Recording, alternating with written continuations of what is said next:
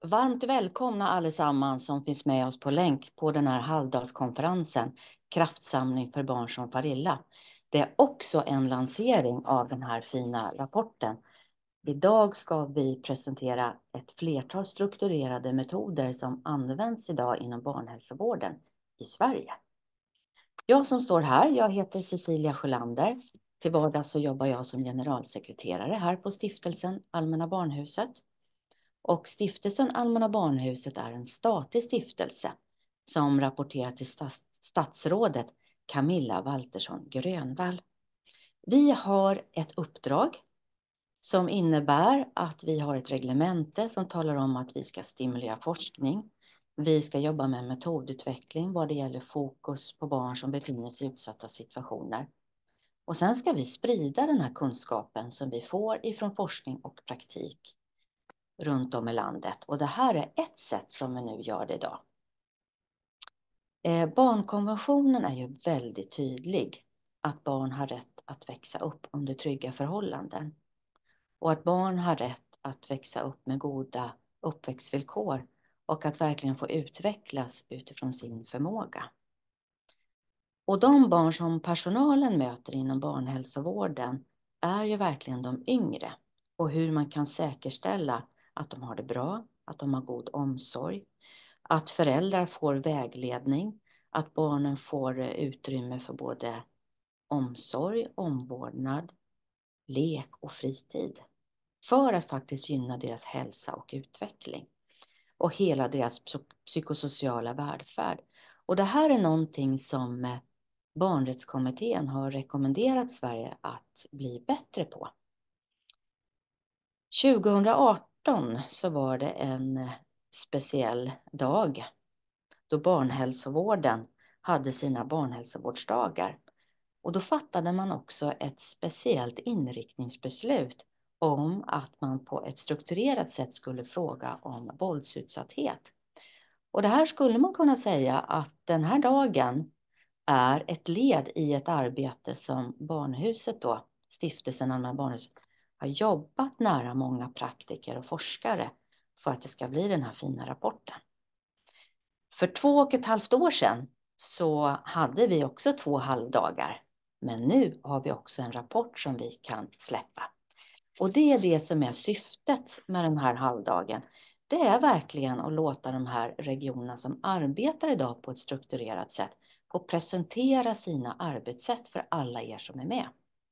Och vi är också väldigt glada att vi har med oss några forskare som ska inleda den här dagen med att berätta lite hur det ser ut i Sverige idag och hur barnen mår och vad det kan få för konsekvenser om man inte möter upp barnen tidigt. Och så ska vi avsluta efter alla fina regioner med en panel tillsammans för att titta på riktningen framåt och framför allt prata eh, om implementering. Vad behövs? För att jobba på ett sånt här strukturerat sätt. Ni som är med oss, ni får jättegärna ställa frågor. Så börja på en gång efter första föreläsningen. Skicka in frågor för vi tar dem under hand. Så återigen, ni som är med här på plats på kontoret i Stockholm, varmt välkomna. Och alla ni på länk. Då drar vi igång hörni. Och vi ska börja möta Carolina Jernbro. Carolina Jernbro är ju lektor i folkhälsovetenskap på Karlstad universitet. Och hon är också sakkunnig här eh, kring våld mot barn på stiftelsen Allmänna Barnhuset. Varmt välkommen fram Carolina Jernbro. Du ska ju prata under rubriken Vikten av att upptäcka barn som far illa utifrån ett folkhälsoperspektiv. Varsågod. Tack så hemskt mycket.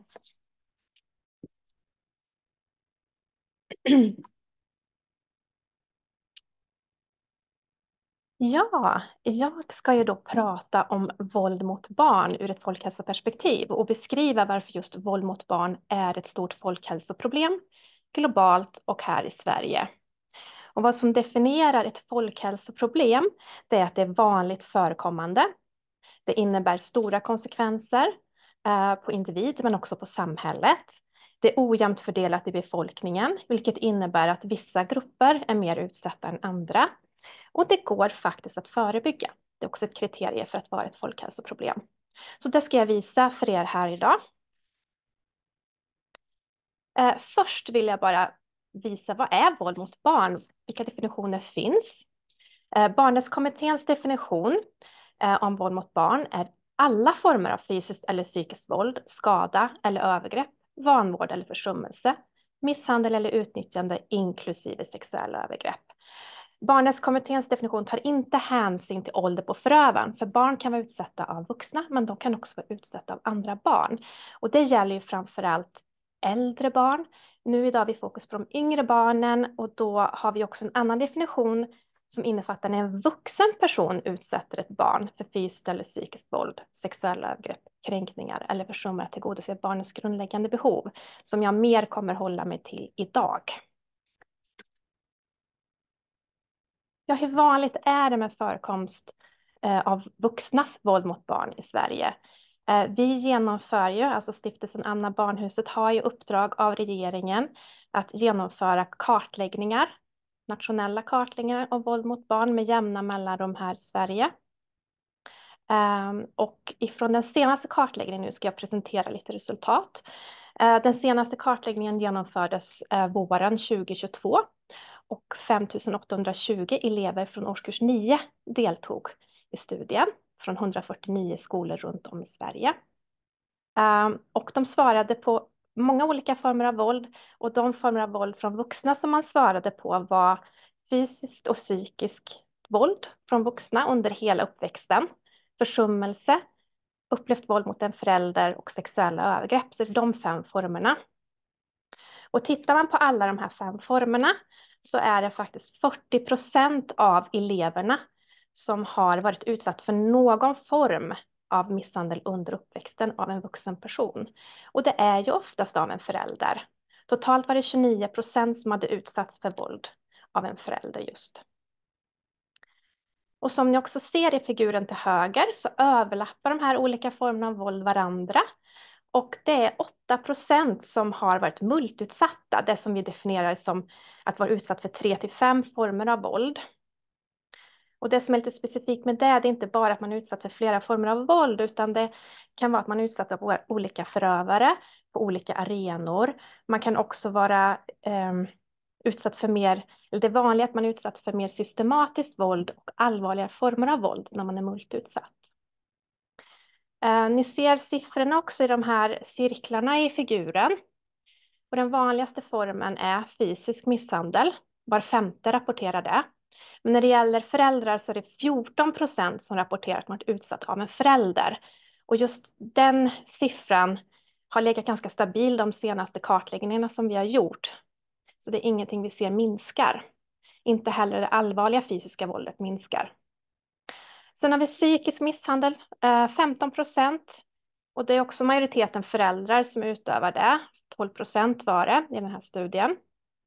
Försummelse, 12 procent varit utsatt för det. Och det är också en form som vi ser har ökat sen senaste kartläggningen. En av tio har upplevt våld mot en förälder. Och det kan handla om både psykiskt och fysiskt våld. Uh, sexuella övergrepp, det är 13 procent som varit utsatt för det, alltså av en vuxen person. Tittar vi på jämnåriga också, då är den siffran betydligt, betydligt högre. Men 13 procent är också väldigt högt. Det har ökat sedan den senaste studien vi genomförde. Uh, och det vi ser där, det är framför allt att det är um, okända vuxna som utövar det våldet. Det är oftast sexuella övergrepp som sker över internet. Uh, få rapporterar um, sexuella övergrepp av en förälder. Det är knappt en procent som rapporterar det. Sen ska jag också säga att flickor rapporterar ju betydligt mer än pojkar. Det är 22 procent av flickor som varit utsatta för sexuellt övergrepp av en vuxen person. Det är skillnad från 4 procent bland pojkarna. Och när vi tittar på icke-binära så är det en av fyra som rapporterar det.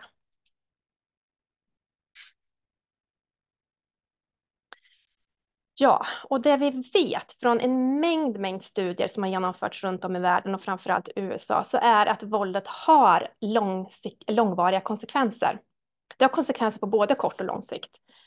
Uh, och vi kan se till exempel de mer direkta konsekvenserna som blir av fysiskt våld till exempel kan ju vara brännskada.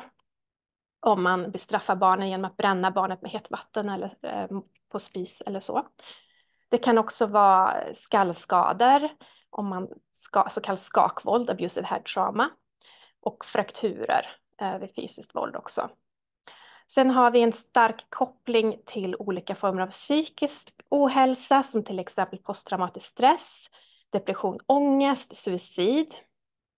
Vi ser också en stark koppling till kriminalitet och inklusive ska säga, gängkriminalitet som vi har ett stort problem av numera. Uh, och även mobbning. Vi ser att barn som är våldsutsatta är mer utsatta för mobbning och de utövar ofta eller mobbar oftare andra. Uh, våldsutsatthet har också en koppling till våra levnadsvanor. Um, våldsutsatta röker i högre utsträckning, är mer fysiskt inaktiva, använder alkohol och droger i större utsträckning, oskyddat sex och även eh, problem med eh, obesitas. Och de här levnadsvanorna kan ju då leda till våra stora folksjukdomar, cancer, hjärt och kärlsjukdom, stroke, diabetes, HIV och så vidare. Och det har ju som sagt stora konsekvenser på individen, men det är också väldigt kostsamt för samhället. Jag vill ge lite exempel här från vår senaste nationella kartläggning av våld mot barn på just det här med psykisk ohälsa, men även skolprestation. Vi ser att um, en stark koppling till uh, att man mår dåligt.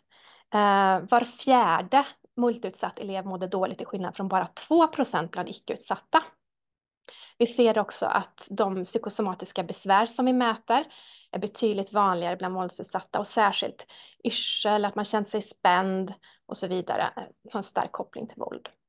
Också som ni ser till figuren till höger så har självskadebeteende, suicidtankar och suicidförsök stark koppling till våld också. Um, där till exempel om vi tar suicidtankar, var femte person har haft suicidtankar vid minst fem tillfällen och fakt bland de multiutsatta ska jag säga. Och när vi tittar på suicidförsök någonsin så är det en av fyra som har försökt att ta sitt liv. Och så jämför man det med den här rosa stapeln som, det är, som är icke-utsatta som är endast en procent. Så det är otroliga eh, riskökningar. Bland de multiutsatta så är det också 10 procent som har använt sex för att skada sig själv.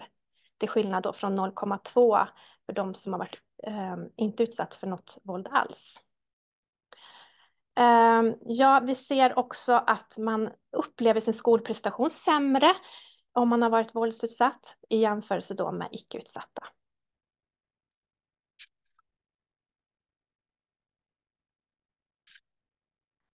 Och det finns ju inte en förklaring på varför eh, våld sker, utan det är många olika faktorer på många olika nivåer som eh, samspelar kan man säga. Och det illustrerar ju den här eh, ekologiska modellen som ni ser framför er.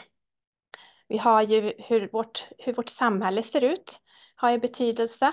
Eh, att vi har liksom hur det ser ut med jämlikhet, jämställdhet, barns rättigheter, vilka lagar vi har för att främja detta. För det påverkar ju våra normer och värderingar i slutändan. Också hur vårt närsamhälle ser ut.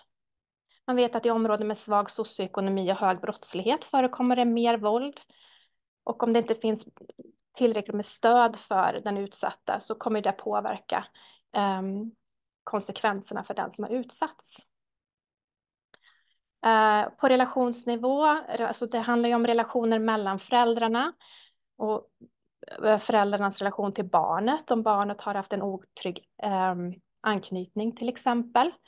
Låg socioekonomi, eh, men det ska man ju också säga och nämna något som är väldigt viktigt, att våld förekommer i alla samhällsklasser. Ehm, det är viktigt att nämna. Ehm, det förekommer också faktorer på individnivå som till exempel eh, rör föräldrarna. Det kan handla om utbildningsnivå, ehm, erfar egna erfarenheter av våld under barndomen, också psykisk sjukdom och missbruk är stora riskfaktorer på individnivå hos föräldrarna. Hos barn så är funktionsnedsättning en viktig riskfaktor även att flickor utsätts för vissa former av våld i större utsträckning än pojkar, som sexuella övergrepp till exempel. Ålder har också eh, betydelse. Och här är igen då eh, resultat från vår senaste kartläggning där vi ser just det här att flickor är mer utsatta, eller de rapporterar mer utsatthet i jämförelse med pojkar. Och det är inte bara sexuella övergrepp, utan de rapporterar andra former av våld i större utsträckning också, som till exempel att man upplevt våld mellan vuxna i familjen. Elever som är födda utanför Norden rapporterar mer våld än de som är födda i Norden.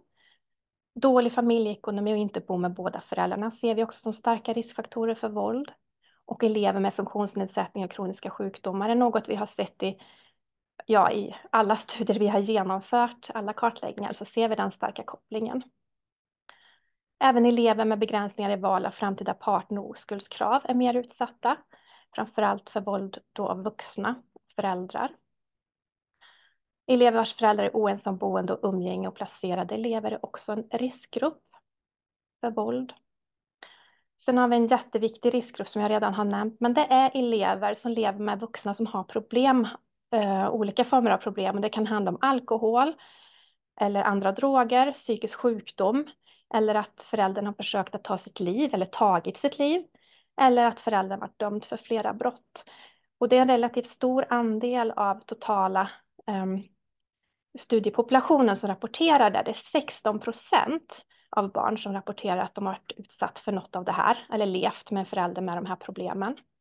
Och de är utsatta för alla former av våld som ni ser där i figuren i mycket större utsträckning än de som aldrig levt med föräldrar med de här problemen. Så om ni ser det så är nästan 50 procent multiutsatta. Ehm, så att man är utsatta för våld av vuxna i betydligt högre utsträckning. Och tittar vi bara på föräldrar så är det 64 procent av de här eleverna som har varit utsatt för våld av en förälder under uppväxten.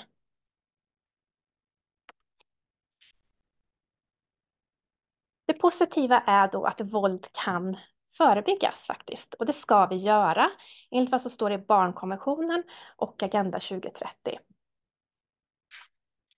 Men vi behöver jobba på många olika nivåer för att få bukt på det här.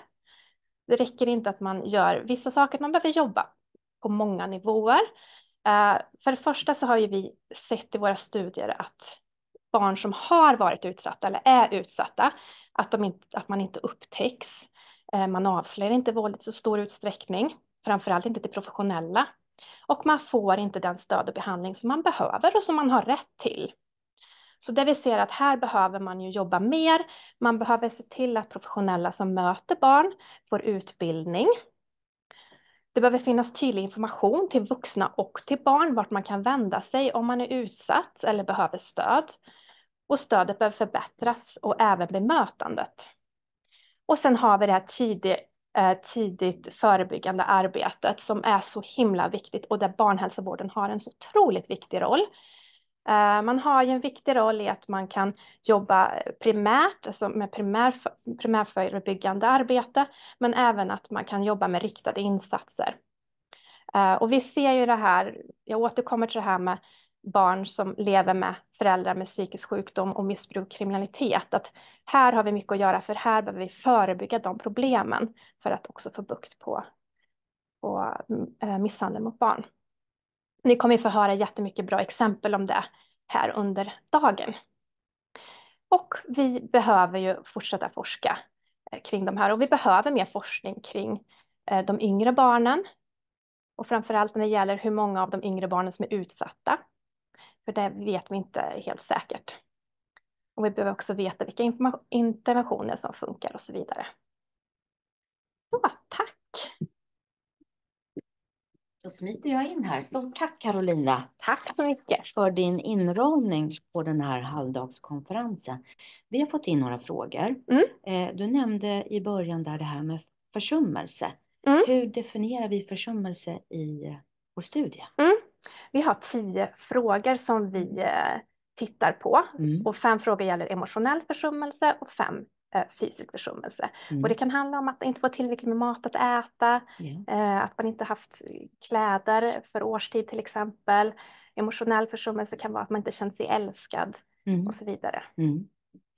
En annan fråga är det här med yngre barn. Hur skulle man kunna kartlägga yngre barn för att veta det här med latent våld etc. Går det att kartlägga då? Vi, gör, alltså, vi frågar ju föräldrarna. Mm. Eh, sen har vi lite problem med svarsfrekvensen på de studierna. Yeah. Och eh, ja, det är svårt. Alltså man vill ju fråga barnen själva, så är det ju, för då Mm. får man ju den, liksom, den bästa informationen. Så det är svårare Ja. eh, faktiskt Mm. när det gäller de yngre barnen. Mm. Sen tänker jag att man skulle kunna fråga föräldrarna mer i relation till kanske barnhälsovården eller så. Mm. Men, men det är svårt när man inte kan få liksom direkt från barnen. Ja, Mm. och det är heller inte möjligt idag eftersom man inte får gå ner i lägre åldrar utan samtycke. Så det har vi också kan vi säga forskningsmässigt en lite Ja. Eh, multiutsatta var också en av dina första staplar och vi kan ju konstatera att det är ungefär 8 procent Mm. som har det med sig. Mm. Tre till fem gånger varit utsatt för Mm. våld. Mm. Du har en rapport framför dig. Kan du inte bara vifta lite med den? För den är Mm. ganska färsk. Ja. Den här rapporten handlar om våld och övergrepp mot barn med funktionsnedsättningar som heter Mer utsatta än andra. Eh, För jag nämnde ju det att vi Mm. har ju sett det Mm. väldigt mycket i flera av de kartläggningar som Allmänna barnhuset gör, Mm. att barn just med funktionsnedsättningar är utsatta. Just det. Och vi har, har ju också en pilotstudie på gång. Eh, Där vi, för det är ju så här att vi frågar ju, när vi går ut i skolan och frågar barnen, Mm. så är det ju barn som går i liksom ordinarie klass Mm. så att säga. Mm. Så vi vet ju ingenting om de barn som har större besvär som går i anpassad skola. Så det håller vi på nu ju Mm. med Allmänna Mm. barnhuset Mm. tillsammans med Childhood Ja. och, och genomför en, en pilot, ska genomföra en pilotstudie om barn med Mm. funktion, funktionsnedsättning i anpassad skola. Ja. Och vi räknar med att vara klara sådär om en tre år. Så det är en liten längre resa, men eh, vi har en målbild att Mm. vi ska ställa fler frågor till barn och unga i anpassad gymnasieskola. Tack så mycket. Tack. Då ska vi hälsa Steven Lukas välkommen upp. Välkommen! Tack så mycket. Ja, du är både docent och du är barnläkare. Du är också forskningsledare på REACH, eller hur? Vid Uppsala universitet. Du ska prata lite om resilience. Mm. Eh, vi har en rubrik som heter Hur kan vi stärka barns och fa- familjers resilience? Och jag tänker att vi vet ganska mycket, Steven, om hur barn, vad de behöver för att både växa, utvecklas och må bra. Men ändå är det så att det är en hel del barn som riskerar att fara illa. Eh, och hur kan vi undvika det och hur kan vi stärka det här arbetet? Det är det du ska få samtala med oss här och med publiken. Mm. Så varmt välkommen. Tack så mycket. Spännande att få möta er idag och prata om det här viktiga ämnet eh, som verkligen följer på det som Carolina berättade om. Hur vi vet att eh, många barn i, i vårt samhälle eh, lever i en situation som inte är positiv för deras, eh, för deras hälsa, för deras utveckling eh, och där risken är större att barnen far illa. Vi ska prata lite om det, eller bygga vidare på, på det som, eh, som Carolina berättade. om. Och ur ett perspektiv som handlar om någonting som heter, på engelska heter resiliency. Um, och rent fysiskt så innebär resiliency en sorts återfjädringsförmåga. Eh, som när man böjer på en eh, grön kvist och sen så släpper man, eh, släpper man den så, så fjädrar den tillbaka till ursprungsläget. Det är resiliency eh, i ett fysiskt eh, perspektiv. Um, men eh, resiliency betyder också att man har eh, en psykisk förmåga att, eh, att klara sig genom svåra situationer och man kan tänka sig eh, ett vulkanutbrott och vad det kan innebära för människorna som blir utsatta, som kanske förlorar sina hem eller människor som är utsatta för krigshändelser. Eh, att många ändå, de allra flesta faktiskt studsar tillbaka Eh, och kan fortsätta livet även om de bär med sig svårigheter ifrån själva händelser. När det gäller utsatthet för våld eh, så, är det, så pratar man om resiliens på svenska då som en förmåga att fortsätta att utvecklas eh, trots svåra livshändelser. Eh, och i barnets kontext så är det viktigt att tänka sig att det är många faktorer precis som Cecilia tog upp, som eh, påverkar barnets förmåga att växa, utvecklas och må bra. Eh, och det här är saker som de allra flesta föräldrar eh, har förmåga att ge sina barn, eh, mer eller mindre per automatik. Eh, de behöver inte tänka så mycket på eh, att barnet behöver kramar och respekt och trygghet och närhet Eh, och pussar. Eh, men de behöver också utmaningar eh, och här kommer det här med resiliensen in också.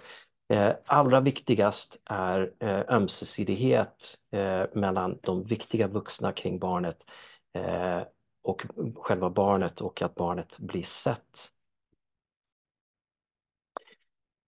Barn växer upp i en kontext förstås och det här med utsatthet det sker inte i ett vakuum utan det är i balansen mellan risk och skyddsfaktorer eh, och i de här, eh, eh, de här sfärerna som, som Carolina visade tidigare, hälsans bestämningsfaktorer.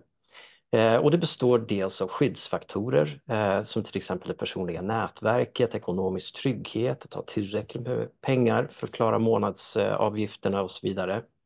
Men också en god hälsa både fysiskt och psykiskt. Alla de här sakerna bidrar till Eh, att föräldrarna mår bra och att barnet lever i en trygg miljö. I andra vågskålen har vi sårbarheter och riskfaktorer och de här går väldigt mycket in i varandra. Men man kan tänka sig att eh, sårbarhet hos föräldrar kan innebära svårigheter för dem att uppfatta eh, och förstå och omsätta barnets behov för att faktiskt leverera det som barnet behöver.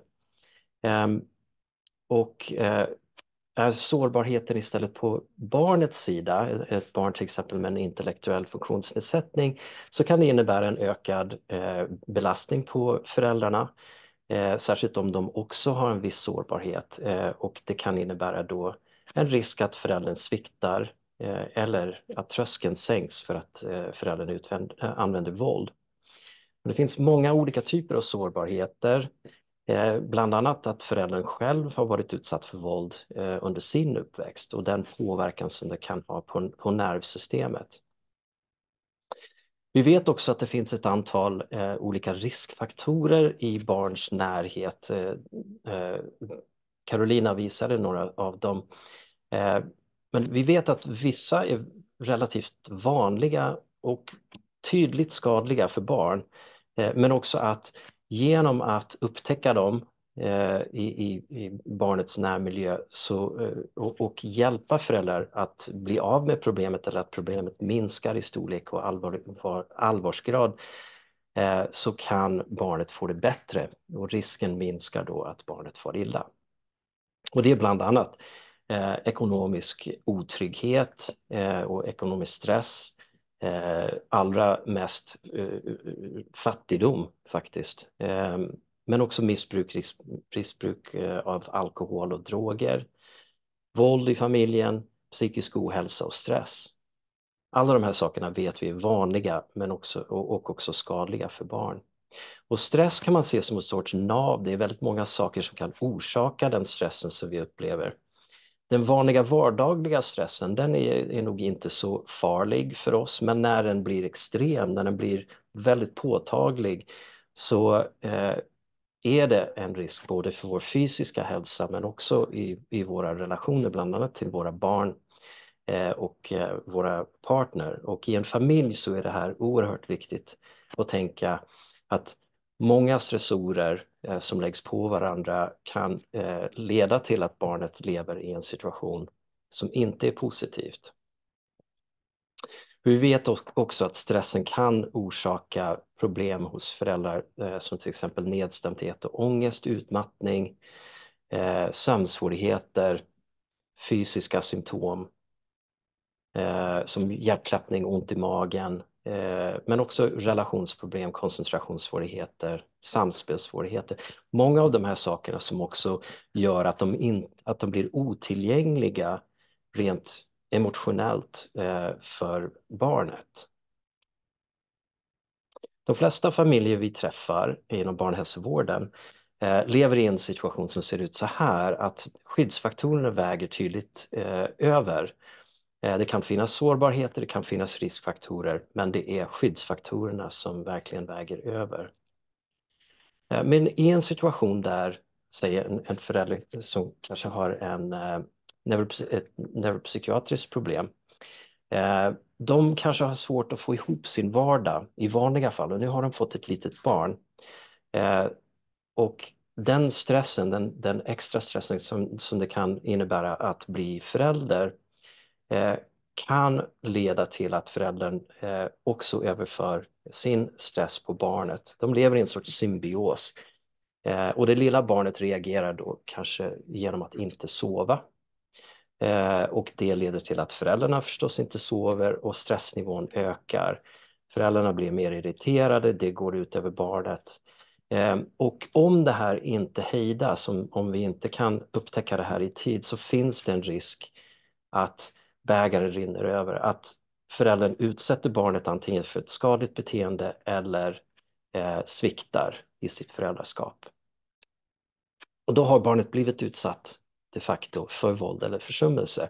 Så det här sker inte i ett vakuum. Ibland är de här problemen jättestora och påverkar barnet eh, påtagligt. Så åter till det här med resiliens, var kommer det in i bilden? Vi vet att vi aldrig kommer att kunna eh, få bort alla typer av situationer där barn växer upp eh, i en svår situation eller utsätts för svårigheter. Eh, men om vi tänker på den här ohälsan som Carolina visade hos de som blir utsatta, men vänder på siffrorna så ser vi att majoriteten av de som har blivit utsatta mår inte sämre än genomsnittet. Och då tänker man varför då? Varför är det så? Jo, för att de har en resiliens, de har en förmåga, de har kanske en viktig vuxen person precis i sin närhet eh, som har varit den där klippan, den där, eh, eh, det där stödet som de har behövt och det har räckt. Ehm, men vi vet att det finns många faktorer som kan bidra till att även om man har blivit stukad genom en svår uppväxt så kan man fortsätta att växa i en positiv riktning. Vi vet, eh, och det mesta av forskningen kring resiliens eh, är just hos individen, eh, alltså faktorer hos individen själv och i individens beteende, men också de faktorerna som finns runt omkring. Så personliga egenskaper som känslomässig och kognitiv flexibilitet och en förmåga att hantera stress på ett effektivt sätt, intelligens och copingstrategier som är både aktiva och reflekterande. De personer som har de här egenskaperna hos sig har mycket lättare för att hitta lösningar och på så sätt också minska sin stressnivå.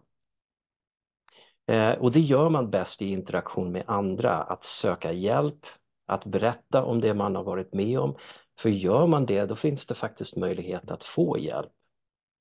Och sen så är det omgivningsfaktorer som nära kontakt med andra eh, och ett nätverk runt omkring sig. Eh, att ha trygga, stabila och närande relationer. Alla de här sakerna gör att personer, även om de har blivit utsatta, har en eh, förmåga att fjädra tillbaka, att inte bli sjuka av det de har varit med om. Och det här kan man se som en Eh, känsla av sammanhang, det som kallas för KASAM. Eh, så barnen, individerna, de upplever att de finns i ett meningsfullt sammanhang och de får stöd. Och det här hjälper dem att stå ut även med svårigheter. Men vi vet också ifrån senare forskning att det finns även resiliens som man kan beskriva hos familjer. Eh, och då är det sammanhållning och det är en balansgång. Eh, den ska vara, eh, det ger möjlighet till känslomässiga band som håller ihop och skapar mening. Men lagom är bäst här. En svag sammanhållning är inte bra, men inte heller en så pass stark kontroll att det hämmar individens möjligheter och flexibilitet. Eh, att ha en gemensam värdegrund eller en livsåskådning eh, som hjälper familjemedlemmarna att sätta händelser och situationer i perspektiv. Och också copingstrategier eh, som familjer som tar sig an hinder och problem och trauman på ett aktivt sätt och kommunicerar med tydlighet en känslomässig öppenhet Eh, och en gemensam problemlösning så att man, man löser saker tillsammans. I de här situationerna så vet vi också att familjer har lättare för att klara av svårigheter och ta sig framåt. Så hur kan vi hjälpa familjer att undvika den här situationen? Som jag sa förut, det, är, eh, eh, det här är inte ristat i sten, att det här barnet ska fara illa. Eh, jo, dels genom det som vi redan idag gör väldigt mycket och det handlar om eh, hälsofrämjande förebyggande insatser, bland annat inom barnhälsovården, förskola, skola, jätteviktiga för att verkligen se barnet, också se familjen och hjälpa till. Och jag är säker på att det här leder idag till stärkt resiliens och en minskad risk att barn får illa. Eh, men ibland är den här snurran redan igång och då är det väldigt viktigt att vi kan identifiera de situationerna, de riskfaktorerna som finns där eh, och kunna hjälpa med riktade stödinsatser till de familjerna som behöver det eh, för att återskapa den här balansen. För det är där risken minskar att barnet får illa och att barnet får en bättre situation för sin hälsa och utveckling. Men ibland är det, har det gått överstyr. Ibland så kommer vi in för sent, ibland är det väldigt svåra problem och här är det viktigt att det finns skyddsinsatser som kan hjälpa till på ett väldigt påtagligt sätt att, att öka tryggheten i familjen och kanske i vissa situationer ta bort ett barn rent fysiskt ur en situation eh, för att skydda barnet och återskapa balansen. Så vi kan stärka barns och föräldrars resiliens, deras förmåga att studsa tillbaka och eh, eh, också förhindra att barn blir utsatta för våld och försummelse. Eh, om vi erbjuder effektiv, hälsofrämjande och förebyggande eh, insatser, effektiva. Men också att vi identifierar barn som lever i en riskmiljö innan barnet har farit illa. Och att kunna e-, erbjuda effektiva riktade insatser till familjerna eh, som har de här ökade behoven på grund av sina, eh, sin situation eller sina problem. Och det här behöver vi samarbeta för. Det finns ingen aktör som kan göra allt det här själv. Eh, någon måste finnas där för att identifiera, någon måste finnas där för att ta emot och det finns massor av stödinsatser i samhället och vi behöver arbeta tillsammans med barnet i centrum. Tack. Stort tack Steven. Eh, vi får in väldigt mycket frågor för det här är ju verkligen kunskap som många vill nå ut i olika verksamheter. Vad tänker du framåt? Hur skulle man kunna nå ut med den här kunskapen till till exempel HVB-verksamheter? Och jag tänker att det här är sånt som borde ingå i väldigt många grundutbildningar. Mm. Eh, så att, i skolan mm. borde ju börja prata om de här sakerna redan under grundskolan. Mm. Eh, vad man behöver egentligen för att kunna utvecklas och för att må bra i sitt liv. Mm. Eh, det här med kommunikation, yeah. hur viktigt det är. Mm. Flexibilitet, att lära sig mm. hur man pratar om även svåra saker. Yeah.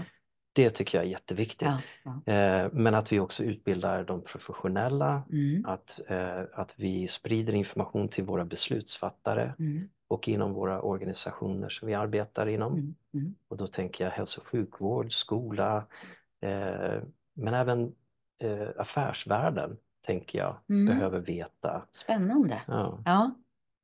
Alltså många olika aktörer och jag tänker att i januari så lämnade ju Fredrik Malmberg över ett förslag om en ny nationell strategi, en uppväxt fri från våld.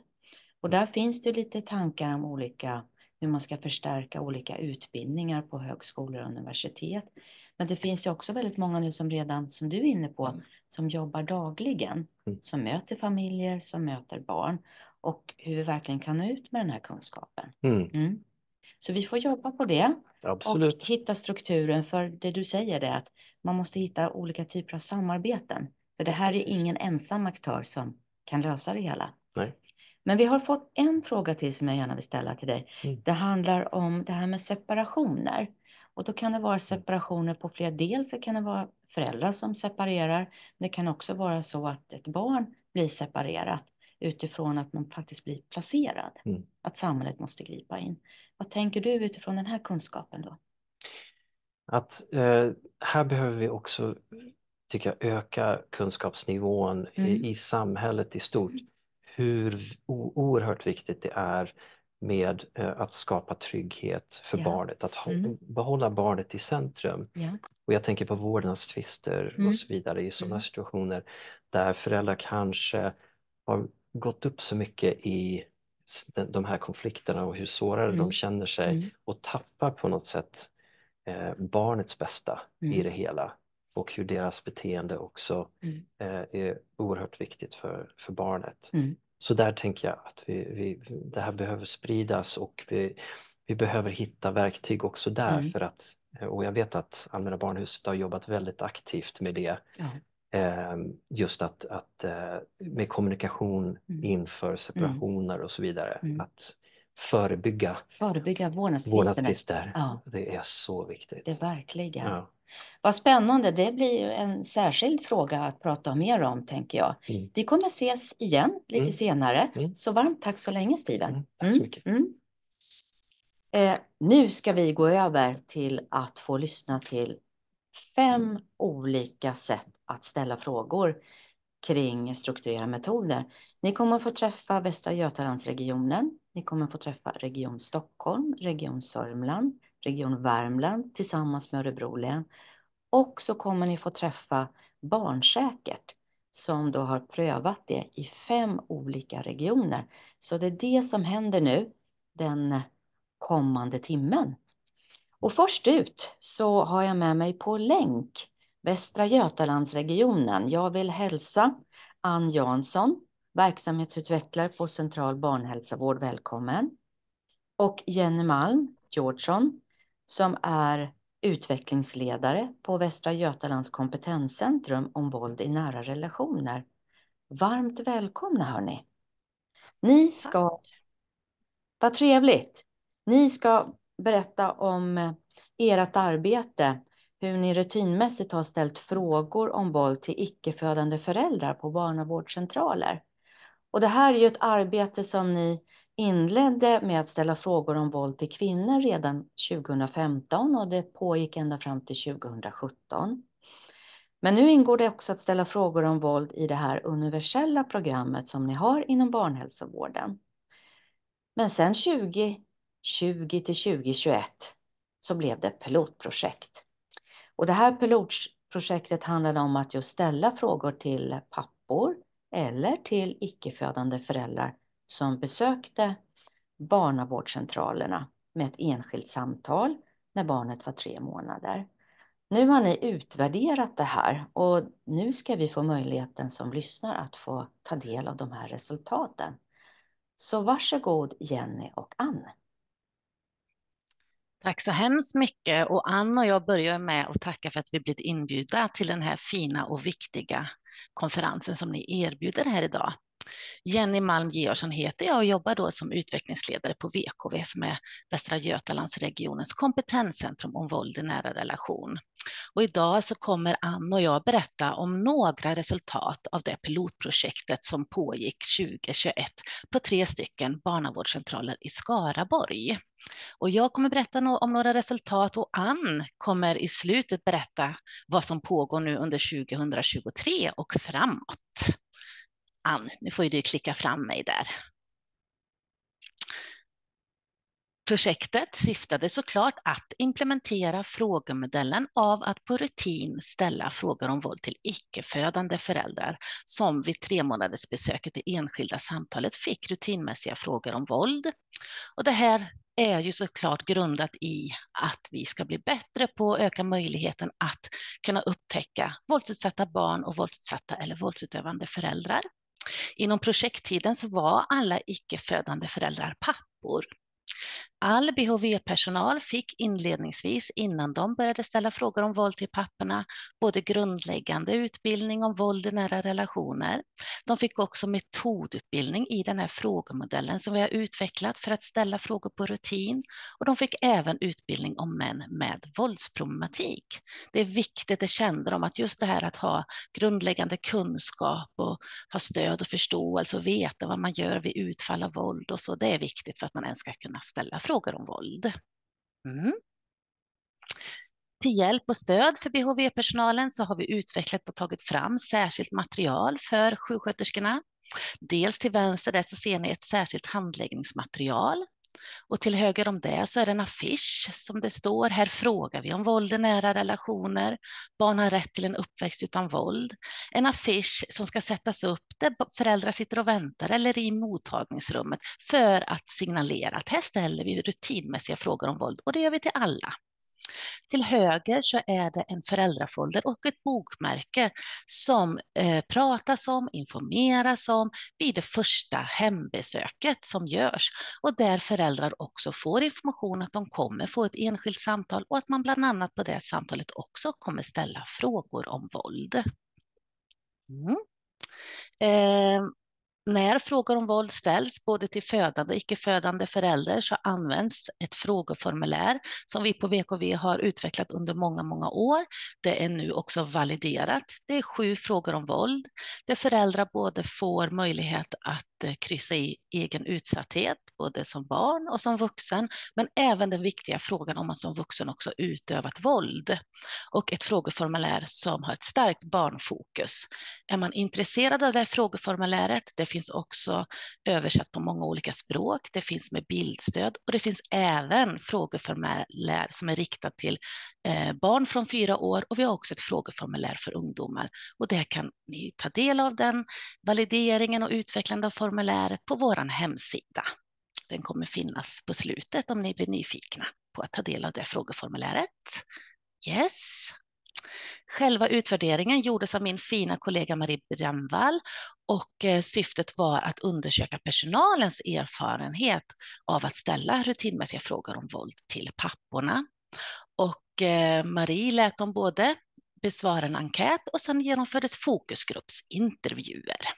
Mm. Och första frågan är hur ser förutsättningarna ut att fråga pappor rutinmässigt om våld på BVC? Och de tycker att förutsättningarna är goda. Dels har de under många år redan ställt frågor om våld till barnets mammor, så de kan metoden, de känner till formuläret, de är trygga med att bemöta och hantera och handlägga svar på våld. Och de upplever även med pappen att man gör detsamma och man upplever att tiden är tillräckligt. Ehm, och vid de fall att det blir ett djupt samtal, att det finns behov av ytterligare samtal, så känner de också att vi har ju möjlighet att sätta upp en ny tid. Så det som inte hinns med vid ett samtal, så kan man erbjuda ett uppföljningssamtal för att fortsätta prata om det som kommer upp i samtalet om våld.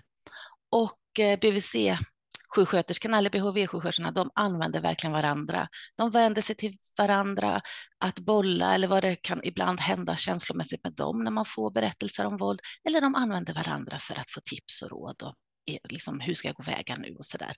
Och det är viktigt att under pilotprojekt ha kontinuerliga uppföljningsmöten så man kan korrigera metoderna, man får erfarenhetsbyte och får stöd. Och det har varit viktigt. Och vad är då personalens upplevelse av att börja ställa frågor om våld till icke-födande eller papporna då? Dels så är papporna själva eller den icke-födande väldigt positiva till att de också får frågor om våld. De tycker att det är viktigt.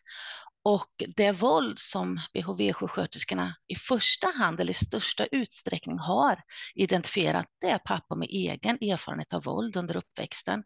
Men också att de under skoltiden antingen själva har varit mobbade eller varit en person som har mobbat.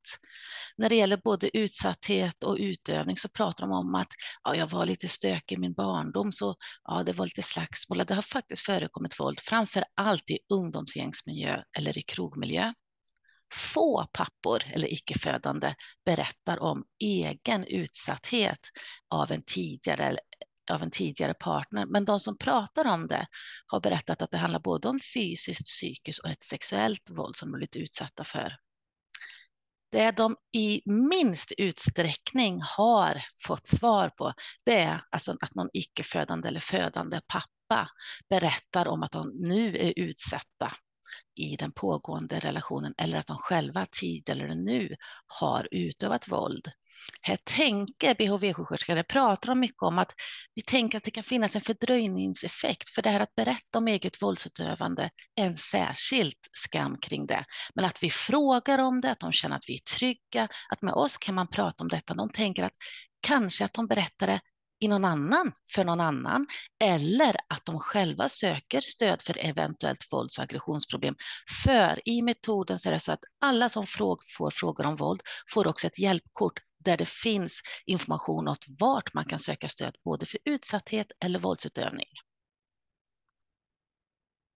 Och eh, BHV-sjuksköterskorna, jag kommer snart läsa upp detta citatet, de pratar om att en, en del eh, och BHV-sjuksköterskor, att de hamnar i samtal där det handlar om verkligen att definiera vad som är våld och vad som inte är våld. Att en del papper som berättar om egen utsatthet i barndomen inte ser det som att de varit utsatta för barnmisshandel eller våld. Så här hjälper personalen verkligen till att försöka definiera våld och allvarliggöra våldet. Så här säger en BHV-sjuksköterska. Det handlar om hans uppfostran, hur han hade haft det som barn och hur det hade sett ut kring honom och hur han såg på det. Han medgav verkligen inte att det var våld, det han hade varit utsatt för. Att det var slag och ja, daskar i rumpar och örfilar och luggningar och sånt där. För honom var det inte våld. Så då försökte jag att vi prata om att det är ju faktiskt våld. Så det är inte tillåtet att vi drar i våra barn eller klappar till dem eller så. Men den blev väldigt långdragen den diskussionen och han gav sig inte riktigt. Det var inte våld för honom. Här resonerar personalen också om att här är det liksom viktigt att eh, vi möter med en sån här pappa eh, och alltså utifrån hans syn på sin egen barnuppfostran, att verkligen liksom jobba förebyggande och följa upp och ha särskild lyhörd för så att detta inte är en pappa som överför den egen uppfostran han har blivit utsatt för på eget eller sina egna barn.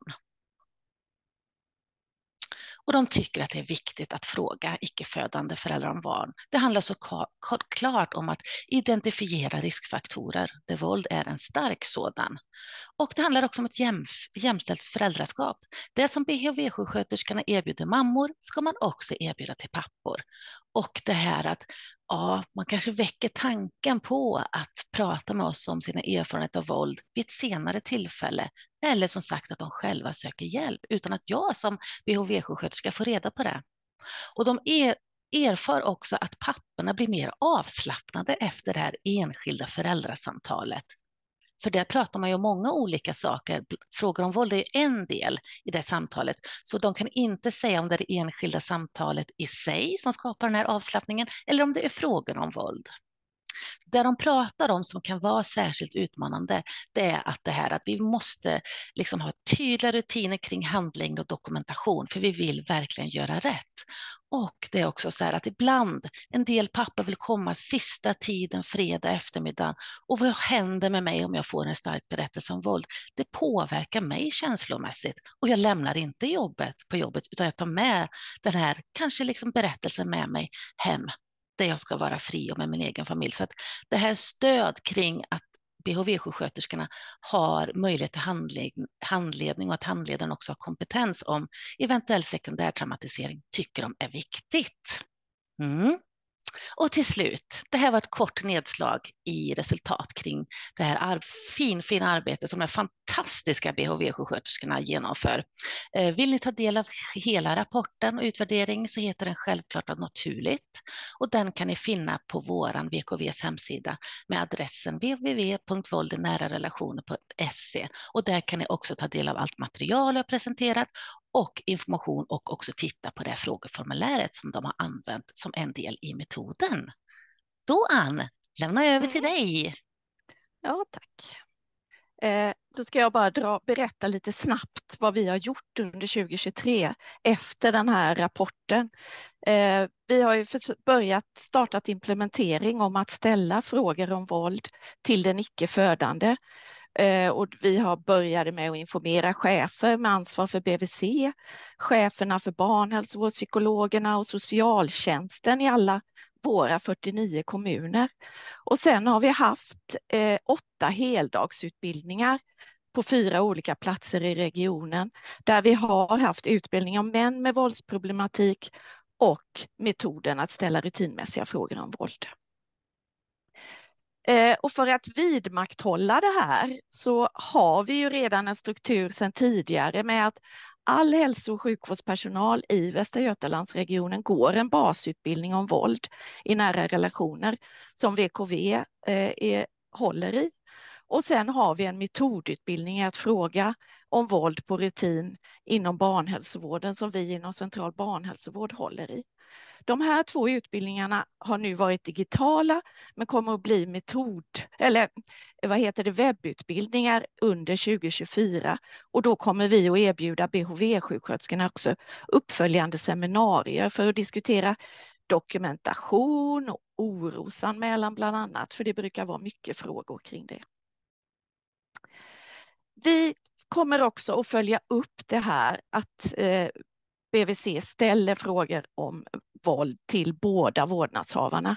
Och där har vi två regionala åtgärdskoder eh, som startade i mars 2023 och hittills, för jag var lite nyfiken inför den här dagen, då ser vi att det är 4 973 födande vårdnadshavare som har fått frågor om våld och 1211 icke födande vårdnadshavare som har fått frågor om våld på de här dagarna som vi har haft, utbildningsdagarna, så har BHV-sjuksköterskorna fått fylla i eller beskriva deras tankar om, om hur det känns att börja ställa frågor om våld nu efter utbildningsdagen. Och det har varit övervägande positivt. Men jag har valt några citat här. Och en sjuksköterska säger att det känns naturligt och jämställt då det redan erbjuds den födande föräldern. Och en annan säger, det känns viktigt och utmanande, värdefullt att kunna hjälpa till i en familj som behöver stöd. Och ytterligare en sjuksköterska säger att det känns bra och lite nervöst. Så, tack!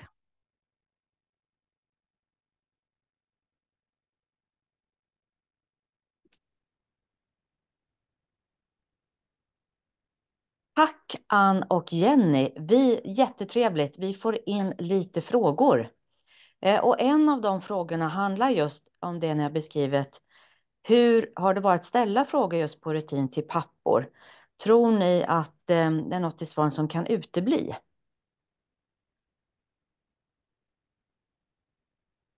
Ja, ska jag svara Jenny eller? Det kan du göra om du vill. Jag tror att det uteblir, men det är ju en möjlighet att kunna. Man vet att man kan prata om våld på BVC eller man kan. Man kan prata om detta med BHV-sjuksköterskan och även om det inte kommer upp just nu vid det här besöket så kan det komma upp senare. Mm mm. Och jag kan säga att min, jag har min bakgrund som kliniker. Jag har jobbat med behandling för män som bär ansvar för, eh, för våld. Och eh, jag vet ju att en del män just med våldsproblematik har fått frågan från olika delar i, i hälso och sjukvården eller att andra har liksom uppmärksammat att de har problem. Men de har inte inför den som har ställt frågan berättat om det utifrån skam och att det är särskilt utmanande att berätta om potentiellt kriminella handlingar inför någon annan. Men att de själva söker stöd till, till en verksamhet efteråt. Mm. Så att vi sår frön Precis. att ställa frågor. Ja. Eh, ni får beröm också, så jag ska ge er beröm från eh, att man inom ramen för, om man är förlossningspedagog så kan man absolut eh, få inspiration utifrån det som ni har berättat. Det var ju faktiskt en ganska stor grupp. Det var ju över 1200 män som ni har ställt frågor till, vad jag kunde se. Och så gör man det eh, efter tre månader jag gör en liten kontrollfråga bara. Har ni tänkt att ställa samma frågor fler gånger under barnets tid på barnhälsovården? Ja, berätta. Ja, är, berätta du Ann, vi ska inte prata Nej, på varandra. Nej, men jag tänker att vi uppmuntrar ju till att ställa frågor under flera tillfällen under barnets tid på BVC. Men just det är inte uttalat tydligt vid vilka tillfällen ännu. Men jag tänker att det är ett projekt vi behöver, eller det behöver vi utveckla. Jag kan ju säga det också utifrån mm. det här att man, det var en fråga om hur ska man synliggöra barnen själva som kanske lever liksom i latent våld och så. Vi på VKV tänker att nästa samarbete och utvecklingsprojekt tillsammans med Central barnhälsovård, det är bara tankar. Det är väl såklart att man, barnen själva ska få frågor om våld, kanske vid fem års ålder innan de går över till skolhälsovården. Och jag tänker att man säger så så blir det möjligt också. Jag tänker att det är det, den riktningen vi ska. Ja, vi har fått en väldigt intressant fråga här. När ni ställer de här frågorna, ställs de skriftligt eller är det muntligen? Mm. I, inom, eh, eh på BHV så använder man det strukturerade validerade frågeformuläret FOV, alltså frågor om våld. Mm. Så att eh, man, man informerar om det, man berättar varför man ställer det, man ställer det till alla och sen så eh, BHV-sjuksköterskan får, pappan eller icke-födande, eller mamman också såklart, ja. fylla mm. i det skriftligt och, och då stannar man kvar i rummet och sen tittar man igenom och sen går man igenom beroende på vad föräldern har svarat och så kan det då bli ett efterföljande samtal kring ja. utfall. Ja. Så skriftligt. Mm. Och det tycker man är skönt att det är strukturerat så att inte jag får hitta, det kanske är så att jag glömmer ställa frågor om det sexuella våldet, mm. om jag ska ställa det muntligt. Här vet man att det är ett validerat, strukturerat formel, frågeformulär där olika former av våld finns med. Frågor om upplevelse av barn, eh, våld i barndomen, om man själv har utövat våld. Mm. Så att här, det, de tycker att det är ett väldigt, väldigt eh, hjälpsamt verktyg. Ja. Mm. Fint att du poängterade där Jenny, att det handlar också om icke-födande föräldrar, för familjer ser ju väldigt olika ut. Mm. Ja. Och ja. Vi ska ställa frågor om våld till barnets alla föräldrar, oavsett kön. Ja. Jätteviktigt. Mm. Mm. Mm. Stort tack hörni. Vi ska gå vidare i våra program och jag hoppas att ni hänger kvar, Ann och Jenny, på den här halvdagen. Så hörs vi och ses. Ja, tack så mycket. Så mycket. Tack. Vi ska gå vidare på länk igen. Vi ska träffa Kristina Gillo som är vårdutvecklare på Region Värmland. Och vi ska också träffa Maria Stark som är vårdutvecklare på Örebro län. Varmt välkomna Maria och Kristina. Ni ska ju tala lite mer om att fråga om våld i nära relationer inom barnhälsovården. Och ni har ju jobbat med två stycken forskningsprojekt. Ni har gjort totalt, tror jag, fyra delstudier under åren 2014 till 2019. Och syftet har ju varit att stödja barnhälsovårdens ambitioner att uppmärksamma barn som indirekt utsätts för våld och ifall våld förekommer i föräldrarnas nära relation så att de här barnen både kan få skydd och stöd. Och idag är rutinen att fråga alla mammor om våldsutsatthet i samband med det enskilda besöket då de även tillfrågas om sin psykiska hälsa. Och det är det här som vi ser med spänning fram att få höra från er, Maria och Kristina. Så jag lämnar över ordet till er. Varsågoda. Tack så jättemycket. Ja, eh, jag heter alltså Kristina Gillo och är verksamhetsutvecklare inom barnhälsovården i Värmland. Och jag heter då Maria Stark och är verksamhetsutvecklare inom Region Örebro län. Och nu ska vi berätta lite grann om vårt forskningsprojekt. Ja, eh, vår bakgrund då. Eh, redan 2012 så hade vi i Värmland planer på att initiera ett arbete för att förebygga om våld eh, inom barnhälsovården. Eh, och det grundades i att vi var flera på vår utvecklingsenhet som eh, hade gått utbildning våld i nära relationer på Karlstad universitet. Eh, och i samma veva så var det så att vi deltog på barnrättsdagarna i Örebro, där temat var våld i nära relation ur ett barnperspektiv. Och eh, då träffades vi där och bestämde att vi skulle se om vi kunde göra något tillsammans. Om det var möjligt att införa en sån rutin inom barnhälsovården. Och Inom mödrahälsovården så hade man ju ställt frågan i över 15 år. Och eh, Socialstyrelsen hade ju gått ut med rekommendationer att eh, frågan skulle ställas på rutin inom mödrahälsovård och eh, eh barn och ungdomspsykiatrin och vuxenpsykiatrin. Så att det saknades nationell forskning. Ja, så vi eh, samlade en projektgrupp och tog kontakt med eh, representanter från både Karlstad universitet och Örebro universitet. Och eh, dessutom så hade vi med psykologer från, mödra och barnhälsovårdspsykologer från våra respektive enheter. Projektgruppen bestod totalt av sju personer. Ja, eh, vårt projekt det fick flera syften. Eh, vi ville ta reda på om det var möjligt att ställa frågan inom vår verksamhet eh, inom barnhälsovården. Vi ville också kartlägga om det var, fanns förekomst av våldsutsatthet bland mammor. Och eh, vi ville också ta reda på hur mammor upplevde att få frågan inom barnhälsovården. Och dessutom ville vi ta reda på vad tyckte BHV-sjuksköterskorna om att ställa frågan på rutin? Och eh, genomförandet då, det var 13 BHV-sjuksköterskor som eh, ville delta i det här projektet. Sju BHV-sjuksköterskor från Värmland och sex BHV-sjuksköterskor från Region Örebro län. Från sammanlagt eh, sex olika BVC. De rekryterades som sagt och alla fick ju utbildning i ämnet och föreläsningar och dessutom så Eh, utvecklades en studiecirkel som pågick under projekttiden och leddes av BHV-psykologer. Två olika formulär användes för att ställa frågan om våld. Ett formulär som, som man hade till alla och sen ytterligare ett formulär om man fick ett utfall i det första grundläggande formuläret. I studien så beslutades att vi skulle ställa den här frågan när barnet var åtta månader.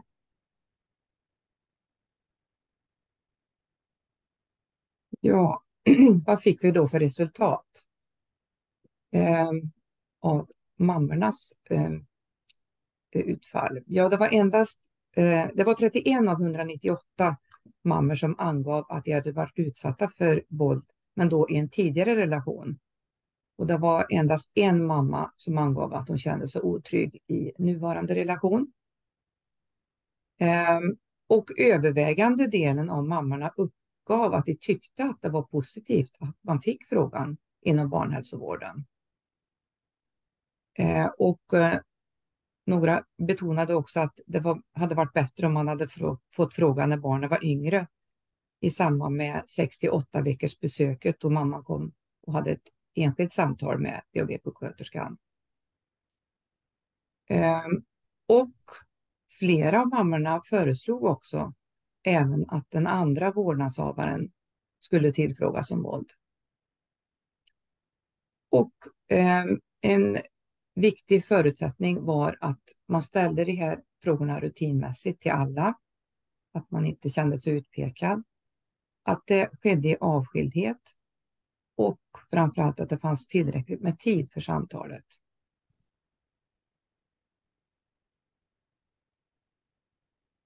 Ja, och vad tyckte då BOV-sjuksköterskorna? Ja, eh, även sjuksköterskorna var positiva till att man skulle ställa frågan. Eh, men då, och att man använde ett skriftligt frågeformulär. Eh, och det hade varit ju vana vid sen eh, att man sedan flera år tillbaka använde ett formulär för att screena för EPDS. Eh, ett av formuläret, alltså formulär två, upplevdes som det var komplicerat att använda. Det var flera frågor och det var, nej, men det var svårt. Och man uppskattade också att man ställde frågan till alla, att det inte var enbart på indikation. Eh, och eh, även sjuksköterskorna tyckte precis som mammorna att det var för sent att ställa frågan vid åtta månader. Eh, tyckte att man borde haft det tidigare.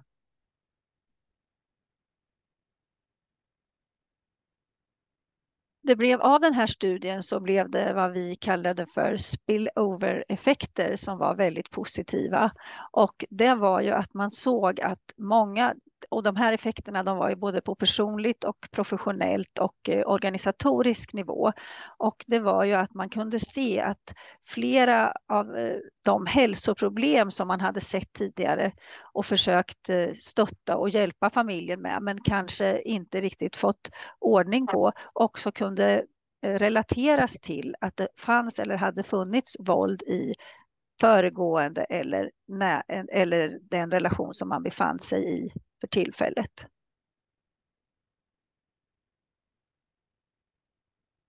Ja, implementering. Vi eh, har haft ett breddinförande 2018-2019 i båda regionerna eh, och inför det så fick ju alla utbildning i ämnet. Eh, vi tidigare la eh, att vi skulle ställa frågan på rutin i samband med EPD-screening. Ehm, så vi ändrade tid för besöket. Ehm, och ehm, alla familjer får en broschyr vid första hembesöket. Barns, barn har rätt till en uppväxt eh, utan våld. Och det gör också att det är enkelt att man kan prata om den här, de här riskerna med hjälp av broschyren. Och och att man ofta träffar båda föräldrarna eftersom man gör det i samband med hembesöket. Eh, I studien så var det, var det så att 70 procent av mammorna angav att de hade inte fått frågan under graviditeten. Och det tyckte vi var väldigt underligt eftersom det här, den här rutinen har funnits inom mödrahälsovården i väldigt många år. Eh, så nu eh, under 2021 så infördes även ett skriftligt frågeformulär även på barnmorskemottagningarna. Så nu ställs frågan på ett strukturerat sätt, eh, både under graviditeten och sen när barnet är fött, precis samma sätt. Eh, och eh, vi anser att det här har varit ett framgångsrikt koncept från en forskningsstudie direkt till implementering, det vi är nu. Och eh, här under det sista året, eller vi började ju införa det enskilda föräldrasamtalet eh, till icke-födande föräldrar och tre till fem månader, någon gång mellan tre till fem månader. Och då fick vi också frågan från ett antal BHV-sjuksköterskor att ska vi nu inte ställa frågan till alla? Och det här hade ju vi naturligtvis tänkt på, eh, framför allt utifrån att det finns samkönade äktenskap och eh, och där vet vi att det förekommer minst lika mycket våld som i, i heterosexuella förhållanden. Och dessutom så, så finns det också barn som adopteras, även om det inte är så stor utsträckning idag. Så att vi kände att det här var väldigt relevant. Och då i och med införandet så, så har vi också pratat om det och haft utbildning i de här frågorna. Så att nu så ställer man, använder samma formulär och ställer också frågan till den icke-födande föräldern i samband med eh, 3 till 5 månaders besöket, något vid de tillfällena. Och vi vet ju att den här eh, projektet som har pågått i VG-region som vi också har kunnat eh, ta del av. Så det känns ju väldigt bra och också BHV-sjuksköterskorna säger också att det känns inte komplicerat för dem och de tycker också att det känns eh, jämlikt att, att göra det och att det inte är svårt. Eh, vi har också en rapport om ni vill läsa mer om hela det här projektet som ju kommer att finnas. Ni ser att det finns som en länk här längst ner och den kommer ni att kunna använda er av när ni får ut eh, alla powerpoints och efter den här eh, förmiddagen. Mm. Mm. Tack. Tack så mycket. Är jag i sändning nu? Härligt. Stort tack Kristina och Maria för er presentation. Vi har en hel del frågor här och en del handlar om dokumentation eftersom ni ställer skriftliga frågor. Är det så att de här skriftliga frågorna eh, sparas hos er eller behåller föräldern? Där? Hur dokumenteras det i barnets journal? Hur går det till? Ja, eh, vi har ju vi, vi får väl du får avbryta mig Kristina om ni gör på ett annat sätt, men det är mm. ju så att det finns en markering i journalen där mm. man eh, markerar att frågan om våld har ställts. Mm. Och vi sparar inte formuläret sparas inte och jag kan inte svara om en förälder ber att få ta hem det så får de ju självklart göra det. Men, men det är inte så att det sparas.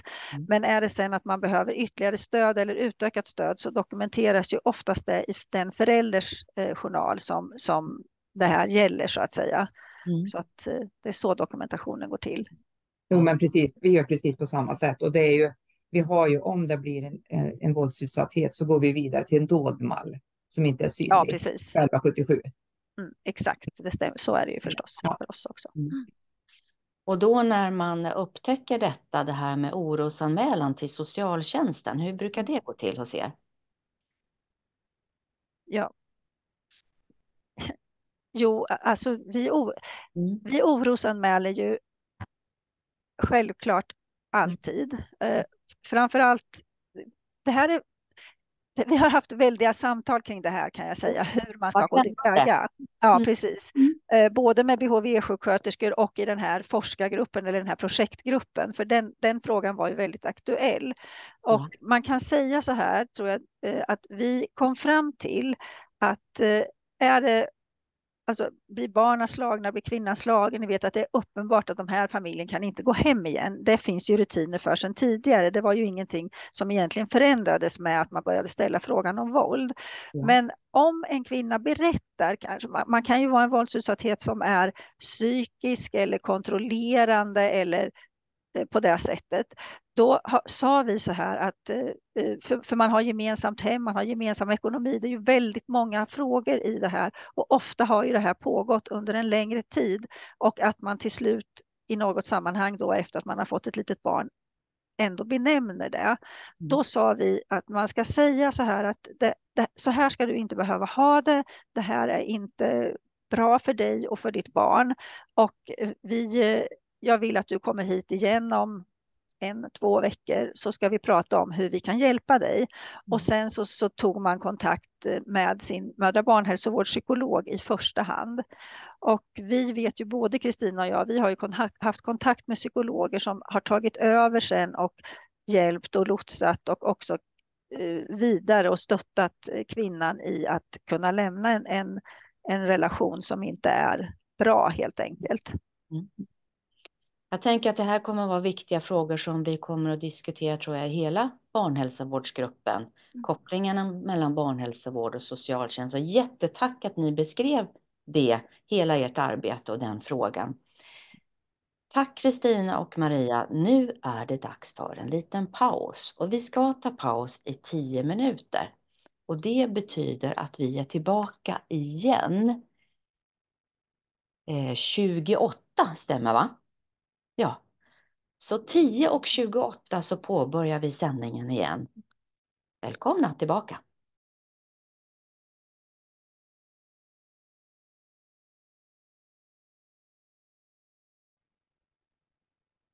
Varmt välkomna tillbaka efter pausen.